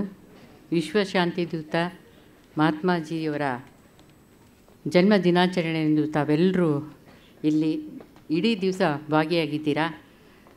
ಅಂತಹ ಒಂದು ಮಹಾತ್, ಕರ್ನಾಟಕ ಗಾಂಧಿ ಸ್ಮಾರಕ ನಿಧಿ ಮತ್ತು ಸರ್ಕಾರದ ಅನೇಕ ಇಲಾಖೆಗಳು ಹಾಗೂ ಮೈಲಾರ ಮಹಾದೇವ ಟ್ರಸ್ಟ್, ಗಾಂಧಿ ಶಾಂತಿ ಪ್ರತಿಷ್ಠಾನ ಹಾಗೂ ಅನೇಕ ಸಹಸಂಸ್ಥೆಗಳು ನಮ್ಮೊಂದಿಗೆ ಸೇರಿ ಈ ದಿನ ಮಹಾತ್ಮ ಗಾಂಧೀಜಿಯವರ ಜನ್ಮ ದಿನಾಚರಣೆಯನ್ನು ಆಚರಿಸಿದ್ದೇವೆ. ತಾವೆಲ್ಲರೂ ಇದರಲ್ಲಿ ಭಾಗಿಯಾಗಿದ್ದೀರಾ? ಉದ್ಘಾಟನಾ ಸಮಾರಂಭದಲ್ಲಿ ಸನ್ಮಾನ್ಯ ಮುಖ್ಯಮಂತ್ರಿಗಳು, ಕರ್ನಾಟಕ ರಾಜ್ಯದ ಮಾನ್ಯ ಮುಖ್ಯಮಂತ್ರಿಗಳು ನಮ್ಮೊಡನೆ ಇದ್ದರು ಅವರಿಗೆ ಇಲ್ಲಿಂದಲೇ ತಮ್ಮೆಲ್ಲರ ಪರವಾಗಿ, ಎಲ್ಲ ಸಂಸ್ಥೆಗಳ ಪರವಾಗಿ, ಎಲ್ಲ ಸಂಘ ಸಂಸ್ಥೆಗಳು, ಎಲ್ಲ ಪರಿವಾರದ ಪರವಾಗಿ ಹೃತ್ಪೂರ್ವಕವಾದ ನಮನಗಳನ್ನು ಸಲ್ಲಿಸುತ್ತೇವೆ. ಹಾಗೆಯೇ ಈ ಕಾರ್ಯಕ್ರಮದಲ್ಲಿ ನಮ್ಮೊಂದಿಗೆ ಹಲವು ಮಾತುಗಳನ್ನು ಗಾಂಧೀಜಿಯವರ ಬಗ್ಗೆ ನೆಹರು ಅವರ ಬಗ್ಗೆ, ಅವರ ಚಿಂತನೆಗಳಿಗೆ ಅವರ ತತ್ವ, ಆದರ್ಶಗಳು, ಅವರ ನಡೆದಾಡಿದ ಈ ಪುಣ್ಯ ಸ್ಥಳದ ಬಳಿಗೆ ಅನೇಕ ನಿದರ್ಶನಗಳನ್ನು, ಅನೇಕ ಉದಾಹರಣೆಗಳೊಂದಿಗೆ ನಮ್ಮೊಡನೆ ಮಾತನ್ನು ಹಂಚಿಕೊಂಡಂತಹ ಸನ್ಮಾನ್ಯ ಎಚ್ ಕೆ ಪಾಟೀಲ್ ಸಾಹೇಬರು, ಕಾನೂನು ಮತ್ತು ಸಂಸದೀಯ ವ್ಯವಹಾರಗಳ ಸಚಿವರು, ಅವರು ನಮ್ಮೆಲ್ಲರೊಂದಿಗೆ ಪ್ರತಿ ವರ್ಷ ಈ ಹೂ, ದೇವ್ರ ತಲೆ ಮೇಲೆ ಹೂವೇನೋ ತಪ್ಬೋದು ಆದರೆ ನಮ್ಮೊಂದಿಗೆ ಈ ದಿನದಲ್ಲಿ ಅವರು ನಮ್ಮೊಂದಿಗೆ ಸದಾ ಇರ್ತಾರೆ. ಅವರಿಗೆ ಎಲ್ಲರ ಪರವಾಗಿ ಹೃತ್ಪೂರ್ವಕವಾದ ನಮನಗಳನ್ನು ಸಲ್ಲಿಸುತ್ತೇನೆ. ಹಾಗೆಯೇ ಈ ಕಾರ್ಯಕ್ರಮದ ಅಧ್ಯಕ್ಷತೆಯನ್ನು ವಹಿಸಿಕೊಂಡು ಈ ಕಾರ್ಯಕ್ರಮ ಅಚ್ಚುಕಟ್ಟಾಗಿ, ಸರಳ ಸುಂದರವಾಗಿ ನಡೆಯಲು ಗಾಂಧಿ ಭವನದ ಅಧ್ಯಕ್ಷರು, ಶಿಕ್ಷಣ ತಜ್ಞರು, ಸ್ವಾತಂತ್ರ್ಯ ಹೋರಾಟಗಾರರ ಕುಟುಂಬದಿಂದ ಬಂದತ್ತ ಗಾಂಧಿ ಭವನದ ಅಧ್ಯಕ್ಷರಾದ ನಾಡೋಜ ಡಾಕ್ಟರ್ ಉಡುಪಿ ಕೃಷ್ಣ ಅವರಿಗೆ ಎಲ್ಲರ ಪರವಾಗಿ, ಎಲ್ಲ ಸಂಸ್ಥೆಗಳ ಪರವಾಗಿ ಗೌರವಪೂರ್ವಕವಾದ ವಂದನೆಗಳನ್ನು ಸಲ್ಲಿಸುತ್ತೇನೆ. ನಮ್ಮೊಂದಿಗೆ ಈ ದಿನದ ಮುಖ್ಯ ಅತಿಥಿಗಳಾಗಿ ಹಾಗೂ ಸ್ಥಾಪಕರು ಅಧ್ಯಕ್ಷರು ಪಬ್ಲಿಕ್ ರಿಸೋರ್ಸ್ ಅಮೇರಿಕಾ ಅವರು. ಇಂತಹ ಒಂದು ಅಪರೂಪದ ಗಳಿಗೆಯನ್ನು ನಮ್ಮೊಡನೆ ಹಲವು ಉದಾಹರಣೆಗಳು. ಇಡೀ ವಿಶ್ವದಾದ್ಯಂತ ಗಾಂಧೀಜಿಯವರ ಪ್ರಭಾವ ವಲಯ ಹೇಗಿದೆ ಅನ್ನೋದನ್ನು ಅವರ ಚಿಂತನೆಗಳ, ಅವರ ಬರವಣಿಗೆಯ ಮೂಲಕ ಹಾಗೆಯೇ ಡಿಜಿಟೈಸೇಷನ್ ಮೂಲಕ ತಮ್ಮೆಲ್ಲರಿಗೆ ಹಂಚಿಕೊಂಡಂತಹ ಡಾಕ್ ಕಾರ್ಲ್ ಮಲ್ಮಡು ಅವರಿಗೆ ಎಲ್ಲರ ಪರವಾಗಿ ಆತ್ಮೀಯವಾದ ನಮನಗಳನ್ನು ಸಲ್ಲಿಸುತ್ತೇನೆ. ನಮ್ಮೆಲ್ಲರೊಂದಿಗೆ ಈ ದಿನ ನಾಲ್ಕು ಜನರು ಸ್ವಾತಂತ್ರ್ಯ ಹೋರಾಟಗಾರರು. ನಾವು ಯಾರು ಸ್ವಾತಂತ್ರ್ಯ ಹೋರಾಟದಲ್ಲಿ ಭಾಗವಹಿಸ್ತಾ ಇದ್ದರು ಸ್ವಾತಂತ್ರ್ಯ ಹೋರಾಟದ ಕುಟುಂಬದವರೊಂದು ಎಲ್ಲೋ ಕೆಲವರು ಮಾತ್ರ ಉಳ್ಕೊಂಡಿದ್ದಾರೆ. ಹಾಗೆ ಒಂದು ಸರಿ ನಾವು ಅಲ್ಲಿ ಇಲ್ಲಿ ಅವರ ಸರ್ಕಾರವೋ, ರಾಜ್ಯಪಾಲರು ರಾಜ್ಯಪಾಲರಿಗೆ ಹೋಗಿ ಅವ್ರ ಮನೆಗೆ ಗೌರವಿಸಿದ್ದನ್ನು ಫಾಲೋ ಮಾಡಿ ನಾವು ಕೂಡ ಅವರನ್ನು ಕರ್ಕೊಂಡು ಬಂದು ನಮ್ಮ ಕರೆಗೆ ಹೋಗೊಟ್ಟು ಬಂದಿರುವಂತಹ ಸ್ವಾತಂತ್ರ್ಯ ಹೋರಾಟಗಾರರಾದ ಕೆ ಸಿ ನಾರಾಯಣಪ್ಪನವರು, ಎಸ್ ವಿ ಟಿ ಗುಪ್ತಾರು, ಎಚ್ ಎಸ್ ಹನುಮಂತರಾವ್ ಅವರು ರಘುನಾಥ್ ರಾವ್ ಅವರು, ಇವತ್ತು ಅವರು, ಅವರ ಕುಟುಂಬಸ್ಥರು ಎಲ್ಲರೂ ನಮ್ಮ ಜೊತೆ ಇದ್ದಾರೆ. ಅವರೆಲ್ಲರಿಗೂ ಕೂಡ ಗೌರವವಾದ ನಮನಗಳನ್ನು ಸಲ್ಲಿಸಿದೆ ಹಾಗೆಯೇ ನಮ್ಮ ನಿಕಟಪೂರ್ವ ಗಾಂಧಿ ಭವನದ ಅಧ್ಯಕ್ಷರಾದ ಡಾಕ್ಟರ್ ಓ ಶ್ರೀನಿವಾಸಯ್ಯನವರು, ಅವರು ಕಟ್ಟಿದಂಥ ಈ ಬಹುದೊಡ್ಡ ಸಂಸ್ಥೆಯ ಅವರ ಪತ್ನಿಯವರು, ಜಯಲಕ್ಷ್ಮಿಯವರು ಮತ್ತು ಶ್ರೀನಿವಾಸಯ್ಯನವರ ಹೆಸರಿನಲ್ಲಿ ಒಂದು ದತ್ತಿಯನ್ನು ಸ್ಥಾಪಿಸಿ, ಅದು ದತ್ತಿ ಸಾಹಿತ್ಯ ಪ್ರಶಸ್ತಿಯನ್ನು ಕೊಡಬೇಕು ಅಂತ ಇಲ್ಲಿ ಸ್ಥಾಪಿಸಿದಂಥ ಆ ದತ್ತಿ, ಅದಕ್ಕೆ ಕೃತಿಗಳಿಗೆ ಕೊಡುವಂಥದ್ದು ಆ ಕೃತಿಯನ್ನು ಮೈಲಾರ ಮಹಾದೇವ ಕೃತಿಯನ್ನು ಬರೆದಂತಹ ಹಂಪಿ ವಿಶ್ವವಿದ್ಯಾನಿಲಯದ ಕುಲಪತಿಗಳು ಹಾಗೂ ಸಾಹಿತಿಗಳು ಆದಂತಹ ಡಾಕ್ಟರ್ ಎಂ ಮುರುಗಪ್ಪನವರಿಗೆ ಈ ಸರಿ ಕೊಟ್ಟಿದ್ದೀವಿ. ಅವರು ನಮ್ಮೊಂದಿಗೆ ಈ ಕಾರ್ಯಕ್ರಮದಲ್ಲಿ ಭಾಗಿಯಾಗಿದ್ದಾರೆ. ಅವರಿಗೆ ಎಲ್ಲರ ಪರವಾಗಿ ಗೌರವವಾದ ನಮನಗಳನ್ನು ಸಲ್ಲಿಸುತ್ತೇನೆ. ಹಾಗೆ ಗಾಂಧಿ ಭವನದ ಎಲ್ಲ ಸದಸ್ಯರು ನಮ್ಮೊಂದಿಗಿದ್ದಾರೆ. ಅವರಿಗೆ ಎಲ್ಲರಿಗೂ ಕೂಡ ಗೌರವವಾದ ನಮನಗಳನ್ನು ಸಲ್ಲಿಸುತ್ತೇನೆ. ಹಾಗೂ ಸಹ ಸಂಸ್ಥೆಗಳ ಎಲ್ಲರೂ ಹಾಗೂ ಬೆಳಗ್ಗೆ ಸಂಗೀತ ಕಚೇರಿಯನ್ನು ನಡೆಸಿದಂಥವರು ಹಾಗೂ ಸುಗಮ ಸಂಗೀತ ಗಾಯನವನ್ನು ಹಾಡಿದಂಥವರು ಹಾಗೂ ಎಲ್ಲಕ್ಕಿಂತ ಮಿಗಿಲಾಗಿ ನಮ್ಮೊಡನೆ ಎಲ್ಲ ಸಂಸ್ಥೆಗಳ ನಾವು ಕ, ಕರೆದ ತಕ್ಷಣ ಎರಡು ದಿವಸದಿಂದ ರಜೆ ಇದೆ, ಮಕ್ಕಳೆಲ್ಲ ಬೇರೆ ಬೇರೆ ಕಡೆ ಹೋಗಿರ್ಬೋದು, ಅವರಿಗೆ ಎಲ್, ಬೇರೆ ಊರಿಗೆ ಅಥವಾ ಪ್ರಯಾಣ ಪ್ರವಾಸ ಹೋಗಿರ್ಬೋದು ಅಂದ್ಕೊಂಡಿದ್ವಿ. ಆ, ನಮ್ಮ ಕರೆಗೆ ಹೋಗೊಟ್ಟು ಬೆಂಗಳೂರು ನಗರ ವಿಶ್ವವಿದ್ಯಾನಿಲಯ, ತಾಂತ್ರಿಕ ಶಿಕ್ಷಣ ನಿರ್ದೇಶನಾಲಯ ಮತ್ತು ಪದವಿ ಪೂರ್ವ ಶಿಕ್ಷಣ ಇಲಾಖೆಯ ವಿದ್ಯಾರ್ಥಿ, ವಿದ್ಯಾರ್ಥಿನಿಯರು ಮತ್ತು ಯುವಜನರು ನಮ್ಮೊಂದಿಗೆ ಇವತ್ತು ಇದ್ದಾರೆ. ಅವರೆಲ್ಲರಿಗೂ ಕೂಡ ನಾನು ಹಾರ್ದಿಕವಾದ ನಮನಗಳನ್ನು ಸಲ್ಲಿಸಲಿಕ್ಕೆ ಇಷ್ಟಪಡ್ತೀನಿ. ಹಾಗೆಯೇ ಅನೇಕ ಸಂಸ್ಥೆಗಳ ಸಹ ಸಂಸ್ಥೆಗಳು ಹಾಗೂ ಈ ಗಾಂಧಿ ಭವನದ ಜೊತೆ ಕೈ ಜೋಡಿಸಿರುವಂಥ ಅನೇಕ ಸಂಸ್ಥೆಗಳ ಹಿರಿಯರು ಇಲ್ಲಿದ್ದಾರೆ. ಅವರ ಕುಟುಂಬದವರು ಇಲ್ಲಿದ್ದಾರೆ. ಸ್ವಾತಂತ್ರ್ಯ ಹೋರಾಟಗಾರರ ಕುಟುಂಬದವರು ಅನೇಕರು. ಗಾಂಧಿ ಭವನಕ್ಕೆ ಪ, ಪ್ರತ್ಯಕ್ಷವಾಗಿ, ಪರೋಕ್ಷವಾಗಿ ನಮ್ಮೊಡನೆ ಹೆಜ್ಜೆ ಹಾಕ್ತಾ ಇರುವಂತಹ ಎಲ್ಲ ಗಣ್ಯರು ಇಲ್ಲಿದ್ದಾರೆ. ಅವರೆಲ್ಲರಿಗೂ ಕೂಡ ನಾನು ಈ ಸಂದರ್ಭದಲ್ಲಿ ಆತ್ಮೀಯವಾದ ನಮನಗಳನ್ನು ಸಲ್ಲಿಸುತ್ತೇನೆ. ಹಾಗೆಯೇ ನಮ್ಮೊಂದಿಗೆ ಮಾಧ್ಯಮ ಮಿತ್ರರು ಮತ್ತು ಪೊಲೀಸ್ ಮಿತ್ರರು ನಮ್ಮೊಂದಿಗೆ ಸದಾ ಹೆಜ್ಜೆ ಹಾಕ್ತಾ ಇರ್ತಾರೆ. ಅವರು ಈ ದಿನದ ಪೂರ್ಣ ಜವಾಬ್ದಾರಿಯನ್ನು, ಸುರಕ್ಷತೆಯ ಜವಾಬ್ದಾರಿಯನ್ನು ಹೊತ್ತಿದ್ದಾರೆ. ಅವರಿಗೆ ಕೂಡ ಎಲ್ಲರ ಪರವಾಗಿ ಹಾರ್ದಿಕವಾದ ನಮನಗಳನ್ನು ಸಲ್ಲಿಸುತ್ತೇನೆ. ಪ್ರತ್ಯಕ್ಷವಾಗಿ, ಪರೋಕ್ಷವಾಗಿ ಎಲ್ಲರೂ ನಮಗೆ ಸಹಕಾರ ಕೊಟ್ಟಂತಹ ಎಲ್ಲರಿಗೂ ಕೂಡ ಈ ಆತ್ಮೀಯವಾದ ನಮನಗಳನ್ನು ಸಲ್ಲಿಸುತ್ತೇನೆ. ಎಲ್ಲರೂ ಕೂಡ ಸದಾ ಇದರಲ್ಲಿ ಬೆಳಗಿನಿಂದ ನಾವು ಇದರಲ್ಲಿ ಭಾಗವಹಿಸಿದಂಥ ಎಲ್ಲರೂ ಯಾವುದೇ ನಿಶಬ್ದವಾಗಿ ಇದರಲ್ಲಿ ಭಾಗವಹಿಸಿದ್ದೀರಾ? ಅದು ಬಹಳ ಅಪೂರ್ವವಾದಾಗತ್ತಾ ಅದಕ್ಕೋಸ್ಕರ ಎಲ್ಲರಿಗೂ ಕೂಡ ಇಲ್ಲಿ ನೆರೆದಿರ್ತಕ್ಕಂಥ ಪ್ರತಿಯೊಬ್ಬರಿಗೂ ಕೂಡ ಆತ್ಮೀಯವಾದ ನಮನಗಳನ್ನು ಸಲ್ಲಿಸ ನನ್ನ ಮಾತಿಗೆ ವಿರಾಮ ಹೇಳ್ತೀನಿ. ನಮಸ್ಕಾರ. ಈಗ ರಾಷ್ಟ್ರಗೀತೆ ಇದೆ. ಅಧಿನಾಯಕ ಜಯ ಭಾರತ ಭಾಗ್ಯ ವಿಧಾತ. ಪಂಜಾಬ್ ಸಿಂಧ್ ಗುಜರಾತ್ ಮರಾಠ. ದ್ರಾವಿಡ ಉತ್ತರ बङ्गा विन्ध्य हिमाचल यमुना गङ्गा उच्चल जलधितरङ्गा। तव शुभ नामे जागे तव शुभ आशिष मागे। गाहे तव जय गाथा जनगण मङ्गलदायक जय हे भारत भाग्य विधाता। जय हे जय हे जय हे। जय जय जय जय हे